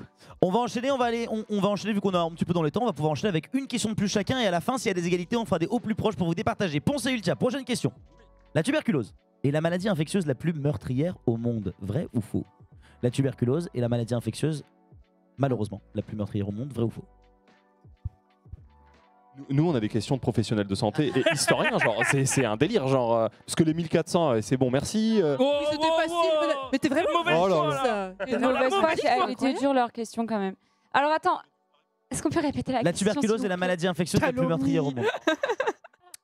Est-ce que c'est vrai ou est-ce que c'est faux? Est-ce que la tuberculose J'ai dit plein de fois le mot tuberculose. Ouais, c'est moi j'ai envie de dire oui. Euh, je réfléchis à d'autres maladies. La coqueluche, c'est over. C'est Asbin la C'est coqueluche. tellement yesterday, la coqueluche, le typhus, tout ça. euh. Euh, C'est peut-être pas pour rien qu'effectivement, le premier vaccin qui a été créé, c'est. T'as dit tuberculose tout à l'heure Euh, Je crois. hein. dire- Donc c'est peut-être pas pour rien, c'est peut-être parce que c'était vraiment vénère et C'est c'est la toujours. Ah non, c'est c'est la variole Bon, bah j'ai rien dit. Mais super. euh, Toi, t'as pour- envie de dire vrai ah, Comme ça, si je me trompe, euh, il y aura balle au centre. Alors, ta réponse est Ouais, j'ai envie de dire vrai, ouais. Alors c'est où? Attends, attends, attends, elle est où C'est là, c'est là. Eh Ouais, bien, bah, la ça va réponse, alors. euh, La tuberculose et la maladie. Alors oui, avec le VIH, qui est la deuxième maladie la plus meurtrière au monde. Donc c'est la tuberculose qui est bien la Let's go première. Bonne réponse, évidemment. J'essaie de vous bait sur la Adèle, elle réponse. avait, elle avait dit VIH, Adèle, justement. C'est vrai. Et bah c'était VIH, c'est la deuxième, ma chère Adèle, du coup. Question pour vous Moment Eligaya. Alors, on va parler de salive. Pendant sa vie, une personne produira environ 5000 litres Vas-y, de super l'histoire. salive. Cool. C'est vrai ou c'est faux Alors, euh, pour- Cool pour- story, tu parles de cette ça, Ponce question En vrai, euh, moi, euh, Prends le je, micro, je parles, beaucoup. Hein. En vrai, c'est pas évident. En vrai, c'est pas évident. Ça fait combien Ça fait combien Elle s'est auto-assommée avec les micros, c'est légendaire. Ça dépend tu roules beaucoup de pelles, non C'est pas ça aussi euh, je Je pense me que- tape avec les micros, moi. Ça fait combien de, de, de C'est- millilitres euh, quand tu avales une 5000 fois litres, ça fait 5000 bouteilles d'évian 1 Ça litre. fait 5 mètres cubes. Oh, bien vu. Ouais, ouais, c'est. Ou euh, Volvic. Il faut citer trois marques. Evian, Volvic et 5 euh, mètres cubes. Je crois que ça l'aide beaucoup, là. Bah en vrai, tu visualises. 5 mètres cubes Mais tu sais, Attends, combien tu sais que moi, ça me semble pas beaucoup. moi, 5 je- moi, je- moi, pour moi, non, mais c'est ça. Pour moi, euh, Dans une vie, 5000 litres de salive. que tu fabriques. C'est-à-dire que dans ta vie, si tu toute la salive que tu fabriques, tu la craches dans des bouteilles, est-ce que tu Non, ferais plus pas de ça mais si j'avale. Oui, oui, bien sûr, bien sûr. Ok, Mais si bah, tu c'est beaucoup craches- plus. Bah, c'est beaucoup plus. Parce que bah, euh, quand on parle, on, a, Je pense, que, je pense que la vie, ils ont compté 80 années. Tu vois, Com- pour te donner comment un... tu calcules ça Parce que. euh, Bah, c'est non, vrai, parce mais que là, on qui parle. s'est on- posé vraiment Ça, ça fait combien de, de bouteilles, t'as dit Bah 5000 litres, c'est 1 litre la bouteille, donc ça fait 5000 bouteilles, ça arrête. hein, euh. Et si c'est des bouteilles de 2 litres, bah ça fait 2500, enfin, ça fait 2500 bouteilles quoi. En fait, tu peux faire le calcul. Si Combien tu, de bouteilles euh, par an si tu divises par, euh, divises par 80, à peu près l'âge moyen, plus divisé par 365, plus divisé par, euh, par 30, plus. Euh, Tu vois, tu peux compter par jour. Ouais, vas-y. Si Je retiens remplit ça, deux, je sais je pas. factorise Moi, moi, je 12. dis que c'est plus. Moi. Mais est-ce que ça dépend pas de la taille de la bouche aussi En fait, c'est la différence de la personne aussi, de tout. De si tu bois beaucoup, si tu fais du sport, si tu. euh, Si t'as en fait, la si t'es un sportif et quelqu'un qui bouge pas, euh, c'est. C'est Ouais, une c'est moyenne. la C'est une moyenne. Non mais attends, si c'est plus, si c'est plus, c'est combien? Bah c'est 5000, c'est... est-ce que ça te paraît beaucoup 5000 litres? Pendant, pendant, pendant toute une vie Oh, je peux faire le vie. calcul avec ma calculette, c'est pas sûr. C'est quoi l'âge moyen de 80 de- ans, il a dit collectif 80 ans. 80 Je pense qu'ils ont mis 80 ans, peut-être 65, 70, mais en vrai même 70, la question c'est est-ce que 5000 ça te semble beaucoup ou pas assez? Je vous invite à répondre bien évidemment. En vrai, la question, elle est vraiment hard. La question Moi, est pas ça me facile. paraît ok. Hein. Mais c'est un vrai ou faux? Est-ce que tu crois Moment ou est-ce qu'on croit Ligaya? Moi, ça me Allez-y, paraît mettez-vous ok. d'accord. C'est fini? Parle bien dans le mic. C'est-à-dire que là, c'est-à-dire que là, tu dis que c'est faux. Moi, je- non, je dis que c'est faux. Toi, tu dis que c'est vrai. Et là, c'est-à-dire que demain, c'est fini. On va être séparés. Tu, moi, ça. Ok. Un Shifumi Ouais. Celui qui gagne le Shifumi 1, 2, 3. C'est perdu. Ligaya, tu prends la décision d'accepter le Shifumi ou pas Oh, aïe, aïe. Oh, Je aïe, aïe. vais suivre moment. Non, non, c'est pas ça. Elle va suivre Moment T'es Oh. sûr C'est ton dernier mot C'est ton dernier mot C'est ton dernier mot Allez. Ouais. C'est ton dernier mot. Un humain produit jusqu'à 36 000 litres de salive Eh oui. au cours d'une vie, donc c'est Bah une oui. bonne réponse, c'est faux. En effet, ça faisait combien par Parce jour qu'en fait, ça fait de fou, 17 hein, centilitres par jour les 5000. 17 centilitres par jour, ça fait pas beaucoup Ça quand tu sais que tu avales ta salive Énormément une, toute deux la fois par, par euh, minute. J'ai. Tu vois, donc euh, ouais, En ça m'étonne pas. Le, le 7 fois plus m'étonne pas. ouais. Très bien, bonne réponse, félicitations à vous. Bon, bah, Allez, problème de maths, ça, ça plaît à penser. hein, je veux On a un autre problème Oh, de bike, d'ailleurs. Allez, nouvelle euh, question cette fois-ci pour la team euh, des pelotes de laine apparemment. Non, Les aventurières. les aventurières. Un sachet de Plumpy Nut de 92 grammes contient 200 kilocalories. De Un Plumpy sachet Nut. de quoi Alors, Non, j'étais pas. content de nos questions en fait. Alors qu'est-ce qu'un Vous savez ce que sachet c'est de des Plumpy Nut expliquer Qu'est-ce que c'est on, on va expliquer, on va Aider un expliquer. peu. Le plum peanut, en gros, c'est ce que c'est des petits sachets qu'on donne aux enfants qui sont en malnutrition pour les booster. euh, Pour les booster. C'est de la répéter la nourriture thérapeutique euh, prête à l'emploi. Alors, C'est est-ce ça. est-ce qu'un ch- est-ce qu'un sachet de Plumpy Nut de 92 grammes Beaucoup. contient 200 kilocalories Ou est-ce que c'est plus c'est ou est-ce que c'est moins, quoi, Voilà. en gros, tu vois C'est En gros, est-ce que c'est 200 Est-ce que c'est beaucoup plus Attends, Est-ce parce que beaucoup tout à l'heure, les balistos là qu'on regardait avec moment, on regardait, on regardait les calories, tu t'en souviens? On regardait les calories. Euh, On peut répéter s'il vous plaît? Oui, 92 grammes contient 200 kilocalories ou plus. 92 grammes, euh, euh, maximum 200 du coup. Ouais, est-ce que c'est 200 ou est-ce que c'est beaucoup plus ou est-ce que c'est beaucoup moins entre guillemets, tu vois Ouais, c'est un un peu ça de nutrition, c'est beaucoup plus. Ah oui, Ah, 200, on leur- 200, c'est. C'est pas juste on leur en donne un et ça va mieux. hein. Enfin voilà. Non, c'est 200. Ah Oui, mais euh, par contre, Ok, euh, ouais, Oh c'est là 200. là. Attends, attends, elle vous êtes peut-être pas. hein. Moi je dis ça, je dis rien. Moi je dis rien. Et mais- là, elle vous plante. Ah, c'est mon rêve, hein, c'est mon rêve qu'elle te plante. Là, Et, euh, je vais rajouter une petite anecdote rigolote. C'est un, un aliment qui a été euh, élaboré en s'inspirant de la composition d'un de- d'un pot de Nutella. Pas d'un pot entier, mais ça, ça s'inspire de du D'accord. Nutella. Ça, c'est 1000 calories, ça, c'est sûr. Parce que déjà, déjà tout à l'heure, un pa- après c'est un paquet de chips, mais 30 grammes, ça équivaut. Oh, je sais plus. Mais c'était beaucoup plus que. C'était vraiment beaucoup. Il va falloir savoir. Allez-y, vous Ouais. pouvez la Plus ou moins Ou enfin plus ou égal Ouais, c'est un peu plus ou égal. Ça peut pas être moins sur le papier, on s'en doute. Ouais, plus, je pense. Un Plus, sachet ouais. de plum peanut, vous savez vous? Oui. Ça contient combien, vous savez? 500. C'est 500 kilocalories, donc 500. c'était bonne réponse. C'était bien faux. 200 kilocalories, c'était pas suffisant par rapport à la vraie réponse. Euh, 1999, le prix de la paix. C'est une bonne réponse. Et On passe à la question suivante. On va directement enchaîner. Ok, MSF. bien tenté. euh. MSF, je te le fais en anglais. MSF is counting 6K Oh non, mais- employees on Non, the non. field. On est très nul en anglais. MSF Non, non. have 6K employees on the field. Field dans les- or, Il a euh, employé. Est-ce que MSF compte 6000 employés sur le terrain? Ah, vous en aviez parlé. 6000 employés sur le terrain. T'as écouté Attends, attends. Vas-y, re- Dans le micro, dans le micro C'est 50 000. il l'a dit, on dirait qu'il Une fois, deux fois, 50 000 pour le monsieur, il repart avec le C'est- canapé. oui, c'est plus que 6 000. Eh bien, on va vous laisser répondre alors. En fait, ouais. Entre, T'es disais tellement tout à l'heure, assuré, entre allons-y. 40 et, et 50 000 euh, personnes euh, donc, qui sont déployées sur le terrain chaque année. Je les ai écoutés. Et voilà. Et bravo Ted. Bravo. C'est un effet faux. On dit 41 000 là sur la réponse, mais comme vous dites, entre C'est 40 ça. et 50 000 selon les années. Dernière question pour vous, les filles. Euh, ok, très bien. On va sauter la question que je vous fais quand même. C'était MSF a remporté le prix Nobel de la paix, vrai ou faux Bah, Ça, il est Voilà. bon, il est bon, On il est bon, il est bon, il est bon. Voilà. en plus. Voilà. Je te déteste. Parce que c'était la question un peu trop facile. euh. Et donc, du coup, comme vous êtes très très forte, on vous pose la question suivante. J'aurais eu en plus. Hein. Allez, question suivante pour les sprinteuses. Le nombre de globules rouges présents dans le sang d'un être humain est normalement compris entre 4500 et 5500 par milli... ouais, Millimètre C'est la cube. pire question depuis le début. J'avoue. millimètre cube. Non mais euh, euh, attends. là on Désolé. déteste Ted. On est très fâchés. Non mais c'est pas de la faute de Ted, c'est juste la régie Oh, bah m'a dit si, cette si. question. Non non, c'est la régie qui m'a demandé de sauter la question d'avant que j'ai dit. Oui, mais parce qu'il a répondu. Mais oui, donne-leur le point. pas- Non non non, c'est pas parce Ah qu'elle a bon répondu. Elle m'a ju- il m'a- non non, euh, MSF a remporté le prix Nobel de la paix, c'est qu'elles l'ont vraiment dit tout à l'heure et comme vous avez peut-être eu des questions difficiles mais vous les êtes en avance, il a- il- on a juste choisi, on allait mettre du jeu, on s'en fout. Réponds à la question. Le nombre Vraiment, C'est pas ma je suis, faute. dé- je suis désolé, je suis désolé Pas Trivia. Le nombre de globules rouges présents dans le sang d'un être humain est normalement compris entre 4500 et 5500 par millimètre cube. C'est encore une fois la même question. Est-ce que c'est beaucoup plus Est-ce que c'est beaucoup moins Qui ne sait pas ça Bah voilà. Donc du coup, c'est vrai ou c'est faux C'est. Moi je le sais et c'est très choquant à quel point c'est vrai ou c'est faux.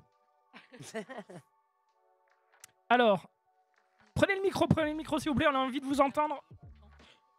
Entre 4000 et Et 5000 5 4500 et 5500 par par millimètre cube. Juste, vous avez entendu ce On qu'a dit Lutti bien ça. Si tu reprends la Est-ce phrase que si tu reprends la phrase de Lutti, t'as donné la réponse Le chi donne la réponse. Ouais. On appellera Vous avez toujours pas le écouté, Ti, bah, hein, vous en dommage. faites pas. Le ti. Le Ti, elle m'appelle toujours le Ti, Juliette. Oh, c'est mignon. Mais c'est pas grave, moi j'aime bien. Oh, le ti. Ça change. Alors. Ah ouais, ça fait pas beaucoup, hein. Des ouais, mais après les globules, c'est millimètres c'est carrés. petit aussi, tu vois, les globules rouges. T'as déjà vu un globule rouge? Hi, Tu le vois pas normalement. Ah Il si, est dans le- petit. la vie, moi je l'ai Il vu. fait quel bruit le globule rouge une fois la vie. T'as jamais vu de globules rouges courir genre Alors, C'est plus, c'est moins. Tu me regardes comme si j'allais avoir la réponse dans les yeux. Dites, dites juste vrai ou faux, hein, les filles. hein. En vrai. Allez, on va dire faux. Eh bien, sache, je pense que. c'est plus ou moins du coup À votre avis, juste. On, on valide faux, mais c'est plus ou c'est moins Moins Eh bah écoute, t'as très très bon sur. Alors t'as bon sur la réponse, c'est faux. Par contre, on n'est pas sur 4500, 5500, on est sur. Des millions C'est 4,5 à 5,5 Ah, millions. C'est chaud, on peut pas vous en vouloir. Mais vous avez bon la Mais on réponse. le savait. Vous avez bon ça la réponse. euh, mm. Ouais. Très bien. Vous pouvez vous applaudir. Ouais, c'est la fin du quiz. Let's go. Petit point sur le scoring du coup. Exactement. Quelle team a le plus de points Alors, il y a une team à deux points. C'est la team des détectives. Et exact, c'est la team de Ponce et Ultia malheureusement sur le. Le- le- chien, hein, définitivement. Pour la peine, euh, quiz, ça prend 15 aides en fait.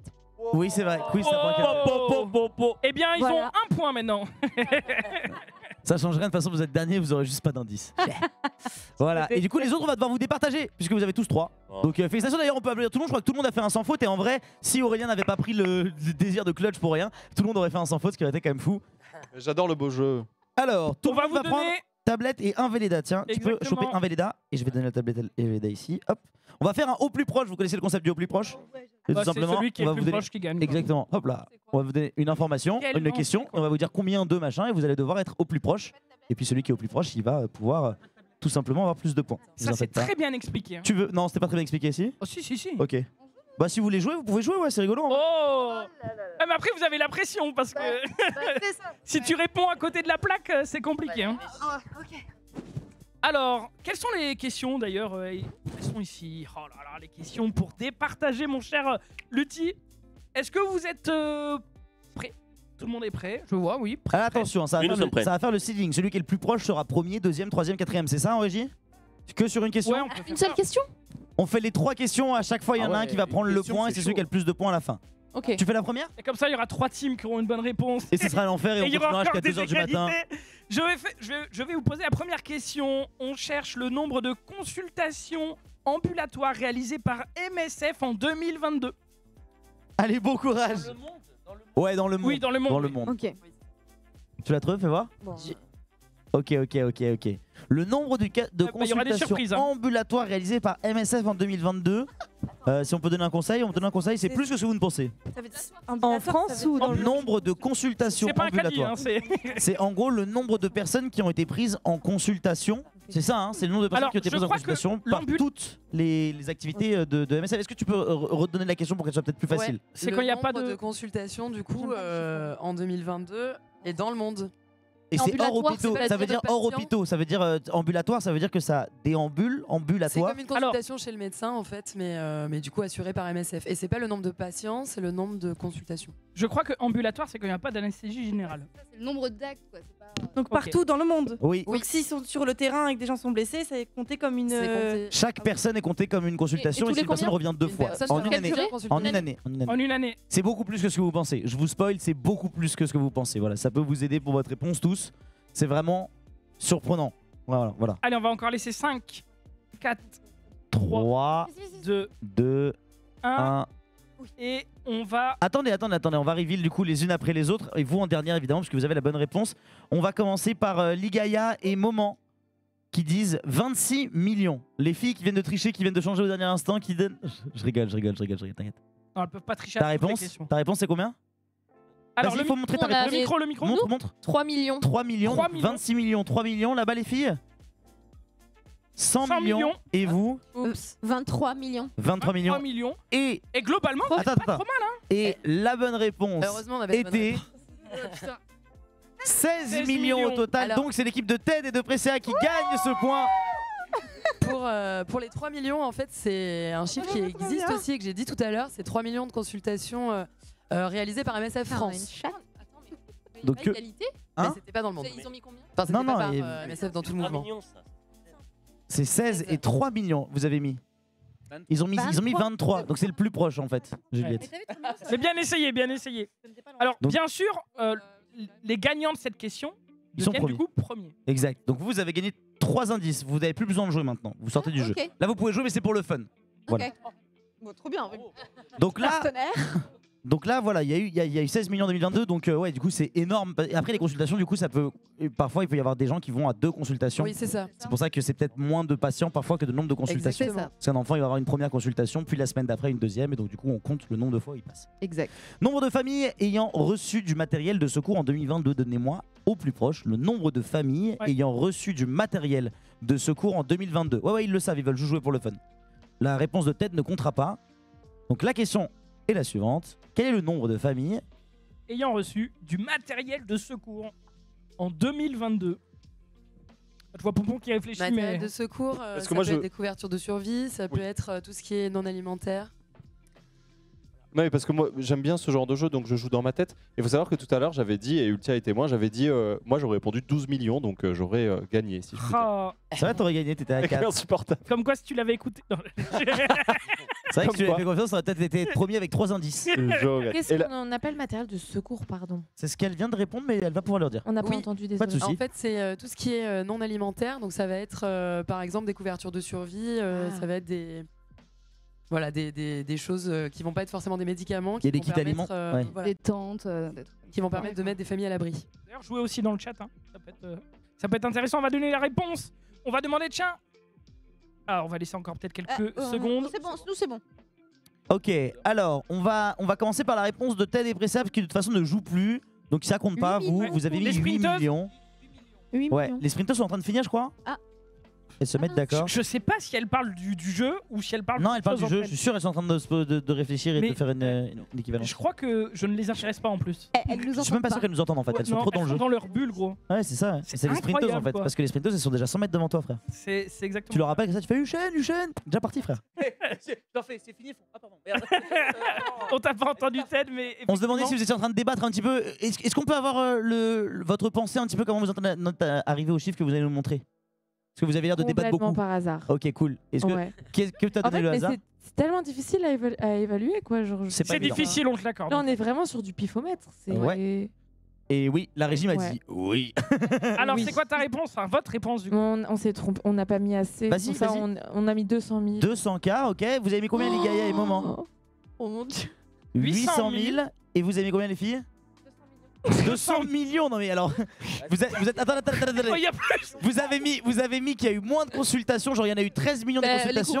Il y a 3 millions de consultations, mais il y a 200 millions de. Bah non, parce qu'en gros, il y a des catastrophes, il y a eu des catastrophes et des couvertures de survie. Au final, bah ça, il y en a beaucoup qui ont Bah, été je suis ça d'accord, peut moi se je, trouve ça ça logique de fou. Hein. Ouais, Ça mais peut je monter crois, vite. En je, vrai. je crois que la vraie réponse, c'est quand même nous, on a la vraie réponse et je peux vous dire que du coup, bah en vrai, il y a beaucoup plus de gens qui sont pris en soin avec les vaccins Ah bah, on et avec va- ce genre de choses que des kits qui sont donnés de premier secours de type justement ces, ces couvertures de survie, puisque le bon chiffre était 476. Allez. Alors c'est 474 exactement, mais vous étiez pas loin. Du coup, c'est Ah vous ouais. qui gagnez les filles, hein, c'est vous qui En fait, gagnez. en fait, dans notre logique, dans notre logique, c'était l'inverse. On s'est dit, il y, a y beaucoup plus de gens qui peuvent pas se faire consulter. Du coup, on leur envoie des couvertures, tout ça, que d'aller se faire consulter. Mais Donc, ça on pouvait c'est énorme. Et c'est pas, c'est pas le cas en fait. Il y a plus de gens qui se font consulter du coup. En fait, c'est un peu compliqué parce qu'on a aussi, euh, on travaille aussi dans des, euh, dans des camps avec euh, plusieurs euh, centaines de milliers de personnes et en fait, c'est difficile d'évaluer si. Euh, euh, Enfin, là, on est vraiment sur, euh, sur de la distribution, mais euh, il y a énormément, beaucoup plus de personnes euh, qui font partie des camps euh, dans lesquels on intervient. Donc, euh, c'est un chiffre qui est un peu, voilà, c'est un peu toujours un peu compliqué à évaluer. Et en plus, les, les filles, on vous rappelle quand même, hein, et Juliette, pour- on vous rappelle quand même que c'était le nombre de familles. Donc c'est pas forcément d'individus aussi, c'était Ouais. à chaque fois de familles. Ça donc, du coup, divise bah, aussi, ça divise par le nombre de gens, parce que c'était famille. Ouais. Donc c'est pour ça que c'est 400 000. C'était le nombre d'individus dans la famille, ça aurait peut-être été 2-3 millions. Après, c'est aussi, euh, je, je sais pas, mais il y a peut-être aussi d'autres assos, euh, selon, selon ce qui se passe, il y a aussi d'autres Bien qui sûr. œuvrent pour ça. Ah oui. Parce que c'est vrai que ça paraît. Moi, je trouve que le chiffre paraît assez petit dans l'idée, le nombre de, familles qui a reçu ne serait-ce qu'une couverture de survie ou plus, quoi. Non mais Donc, clairement il y a un paysage humanitaire avec énormément d'autres assos. On n'est pas on n'est pas toujours tout seul, même si des fois ça arrive aussi.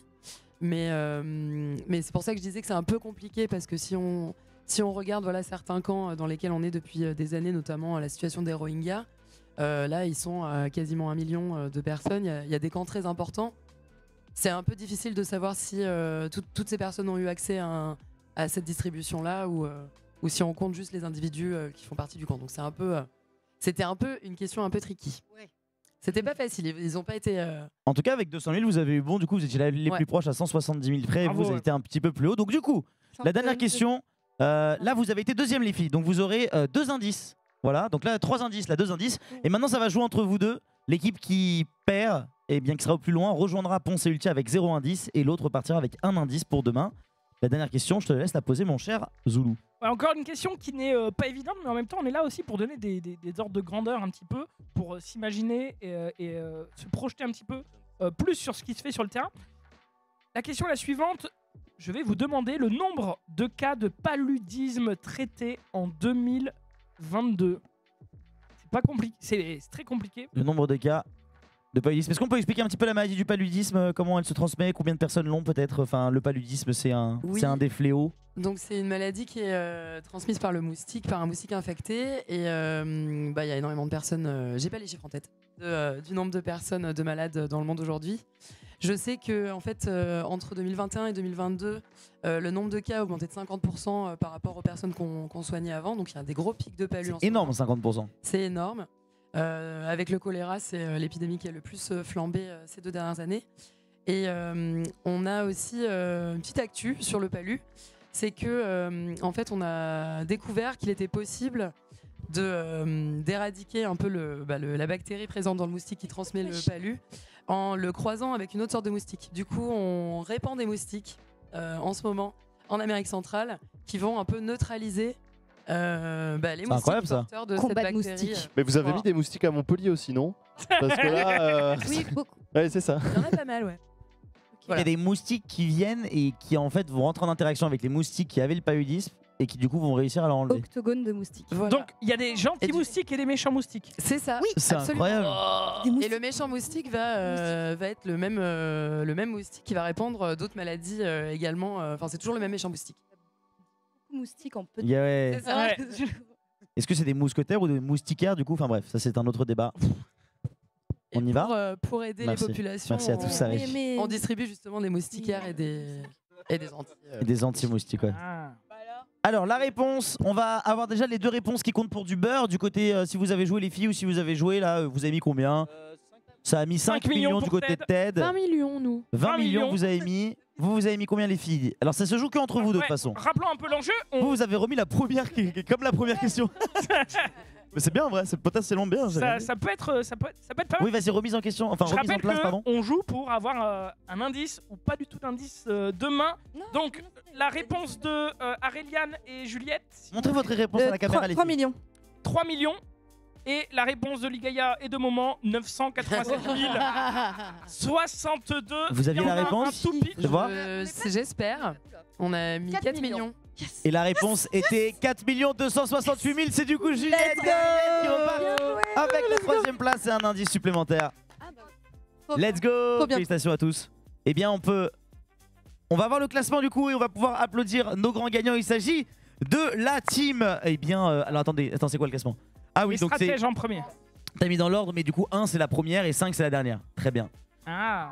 Donc 1 c'est les stratèges, en deuxième c'est les sprinteuses, en troisième ce sont les aventurières et en quatrième et cinquième à égalité parce qu'en fait ils n'ont pas de bonus les deux, ce sont les éclaireurs et les détectives.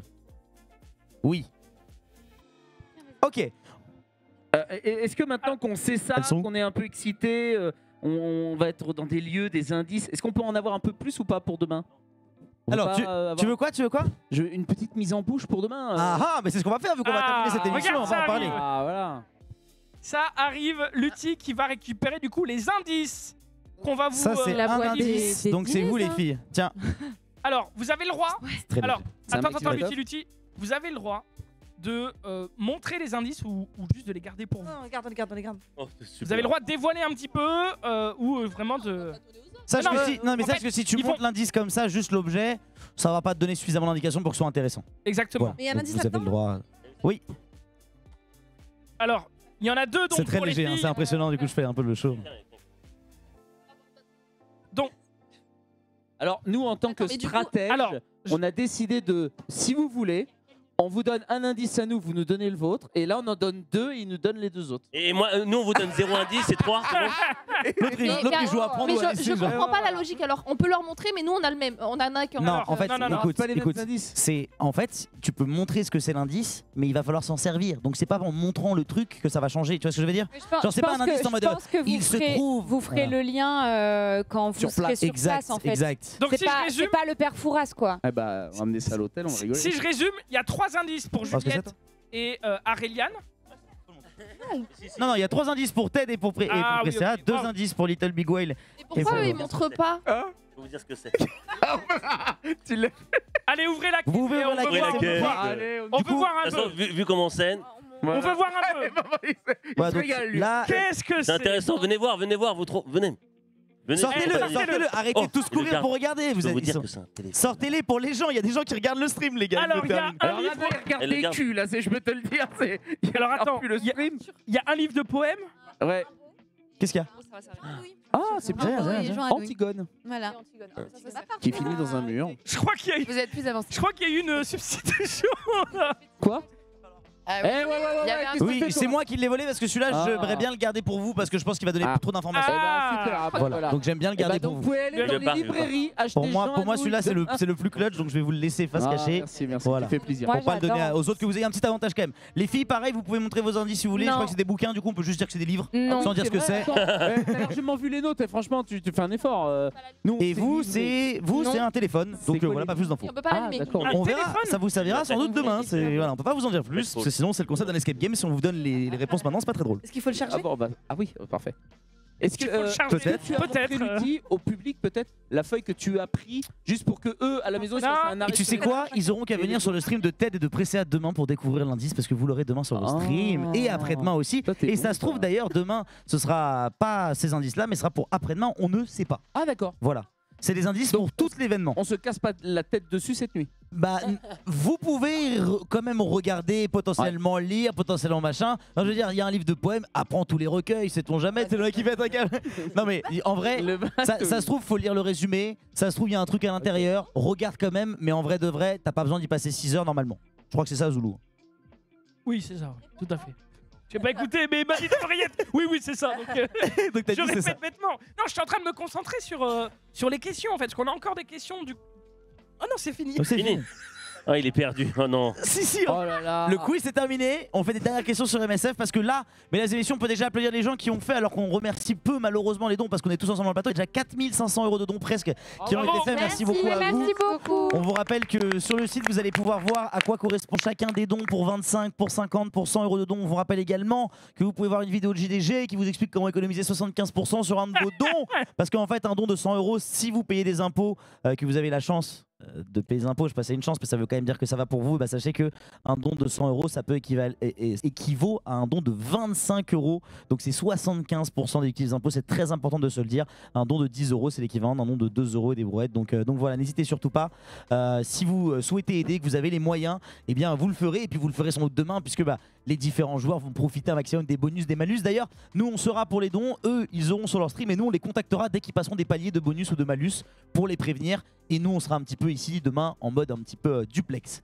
Euh, pour Multiplex. Terminer, multiplex, pardon. Pour terminer du coup, euh, quels sont un petit peu les... Bah justement, euh, est-ce que vous voulez qu'on revienne en détail? Vous, Tu te rappelles un peu des 10, 25, 50 euros ce qu'on a mis ou tu veux que je te les ressorte? Oui, les équivalences. Ouais, les équivalences. Tu t'en rappelles? On s'en souvient, ça Je peux vous la sortir sur le- l'ordi si vous voulez. hein. On s'en souvient, on s'en souvient. Vas-y. Allez. Allez Julie. Julie, Julie elle a l'air ah, plus certaine on va- que Gigi. On va jouer. on- si, euh, donc en fait, on donne juste des, des ordres de grandeur euh, pour que vous vous rendiez compte euh, qu'est-ce que ça, ça, ça équivaudrait à quoi si je faisais un don de 10, 25, 50 et 100 euros Et Gigi va m'aider. Mais euh, pour vous donner une petite idée, mais par contre, euh, quand vous donnez 10 euros, on va pas euh, prendre ces 10 euros et acheter. Voilà, c'est juste pour vous donner une idée. En fait, c'est pour donner une idée de la valeur de ce don peut réaliser ça. C'est pas pour autant que quand vous allez mettre 10, ça va forcément être ça qu'on va réaliser avec.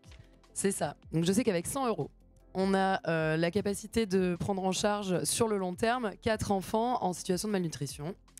Que pour 50 euros, euh, on a euh, la possibilité d'acheter en tout cas 7 kits de suture Exact. pour des opérations. Là j'ai bon. Ok. Oui, c'est 7 kits de suture, c'est ça. 25 euros. Euh, 25 euros, donc euh, toujours euh, déductible à 75%. Ça peut nous permettre C'est 70, quasiment 70, 69 euh, kits euh, de vaccins. de vaccins contre la rougeole. la rougeole, Ouais. ouais. Exactement. Et pour 10 euros, euh, il me semble qu'on a 40 boîtes de médicaments contre le paludisme. Exactement, 41 boîtes contre le paludisme avec 10 euros. Donc félicitations, Donc, on peut applaudir euh, Julie et Gigi quand même, hein, et qui ont belle mémoire, belle mémoire de la part euh, de- des gens. Euh, bah écoute, on va, on va afficher ça. Donc du coup, on a déjà euh, sur l'écran, ça va s'afficher maintenant la barre avec les différentes donations de chacune des équipes. Donc euh, d'un côté en couleur, c'est les dons bonus, c'est ça, et de l'autre côté, c'est les dons malus. Qui c'est qui a eu là les malus? C'était des Presséa. Ah, c'est les roses, Ted et Pressa, ils ont eu combien en négatif? Quoi? 100 balles en dons malus pour Ted et Pressa. 100 balles Et attends, c'est quoi c'est... fait quoi Alors, ma commu s'appelle les connards. Vraiment, vous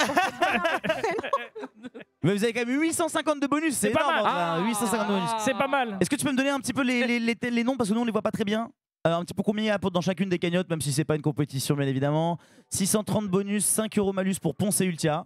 Euh, alors, euh, oui, euh, Ponce et Ultia, c'est 630 bonus et euh, 5 de malus. Vas-y, vas-y, ouais. Je crois. Exact. Euh, pour. euh, J'ai pas les couleurs en tête. Euh, je crois que c'est Aureliane et. et, euh, Attends. je- C'est Little Big Whale en deuxième, je crois. Ouais. Ah ouais Et en Ouais, bleu. ouais, les couleurs sont Ah, pas pardon. très. voilà. Euh, Florence et Little Big Whale, c'est 984 euros en bonus, 0 en malus. Donc c'est peut-être le moment de. De bourrer les dons. De de mettre bombarder. les malus.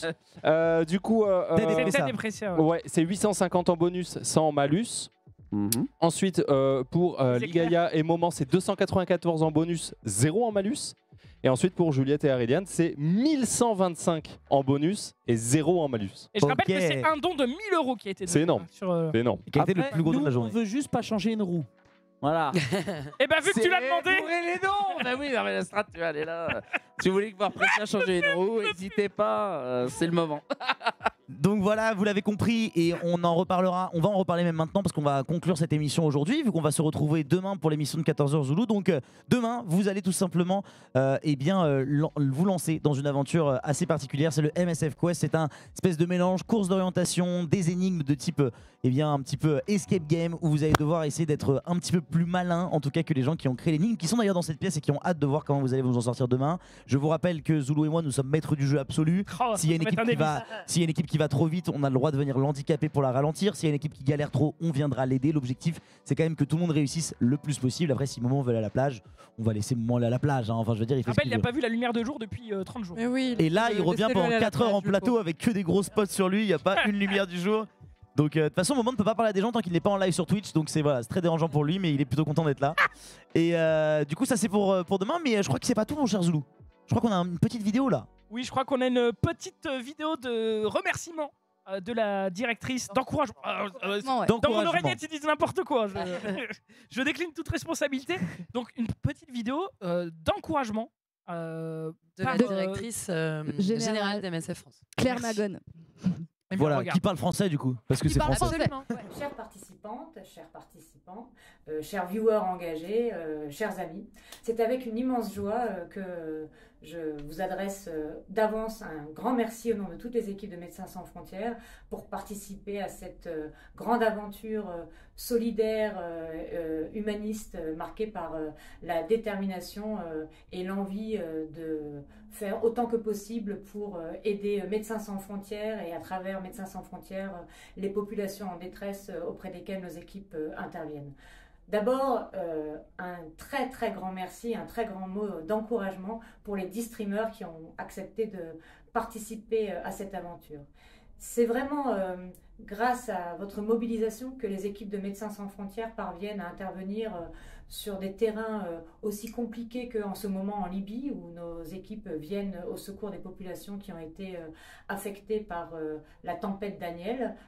Au Maroc, il y a euh, 15 jours, après le tremblement de terre dévastateur qui a tellement marqué les esprits, mais aussi dans 70 pays du monde, sur des programmes de long terme, de moyen terme, sur des problématiques qui vont du traitement contre le cancer de l'utérus au Malawi euh, à euh, des aides, une aide apportée euh, aux populations réfugiées euh, et, ou déplacées euh, au Soudan euh, ou euh, en République démocratique du Congo.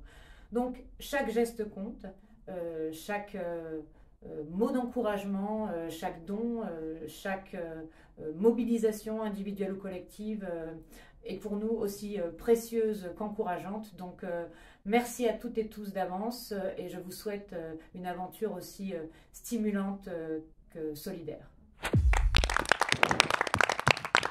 Merci beaucoup pour ce très joli mot et merci beaucoup aussi à toutes les personnes qui vont participer à cet événement. Merci encore à ceux qui sont en train de faire des dons maintenant. On vous remerciera en début de live demain avec euh, Zoulou. Ce sera la folie. Merci, ça monte encore. Si on peut passer les 5000 avant la fin, ça fait extrêmement plaisir.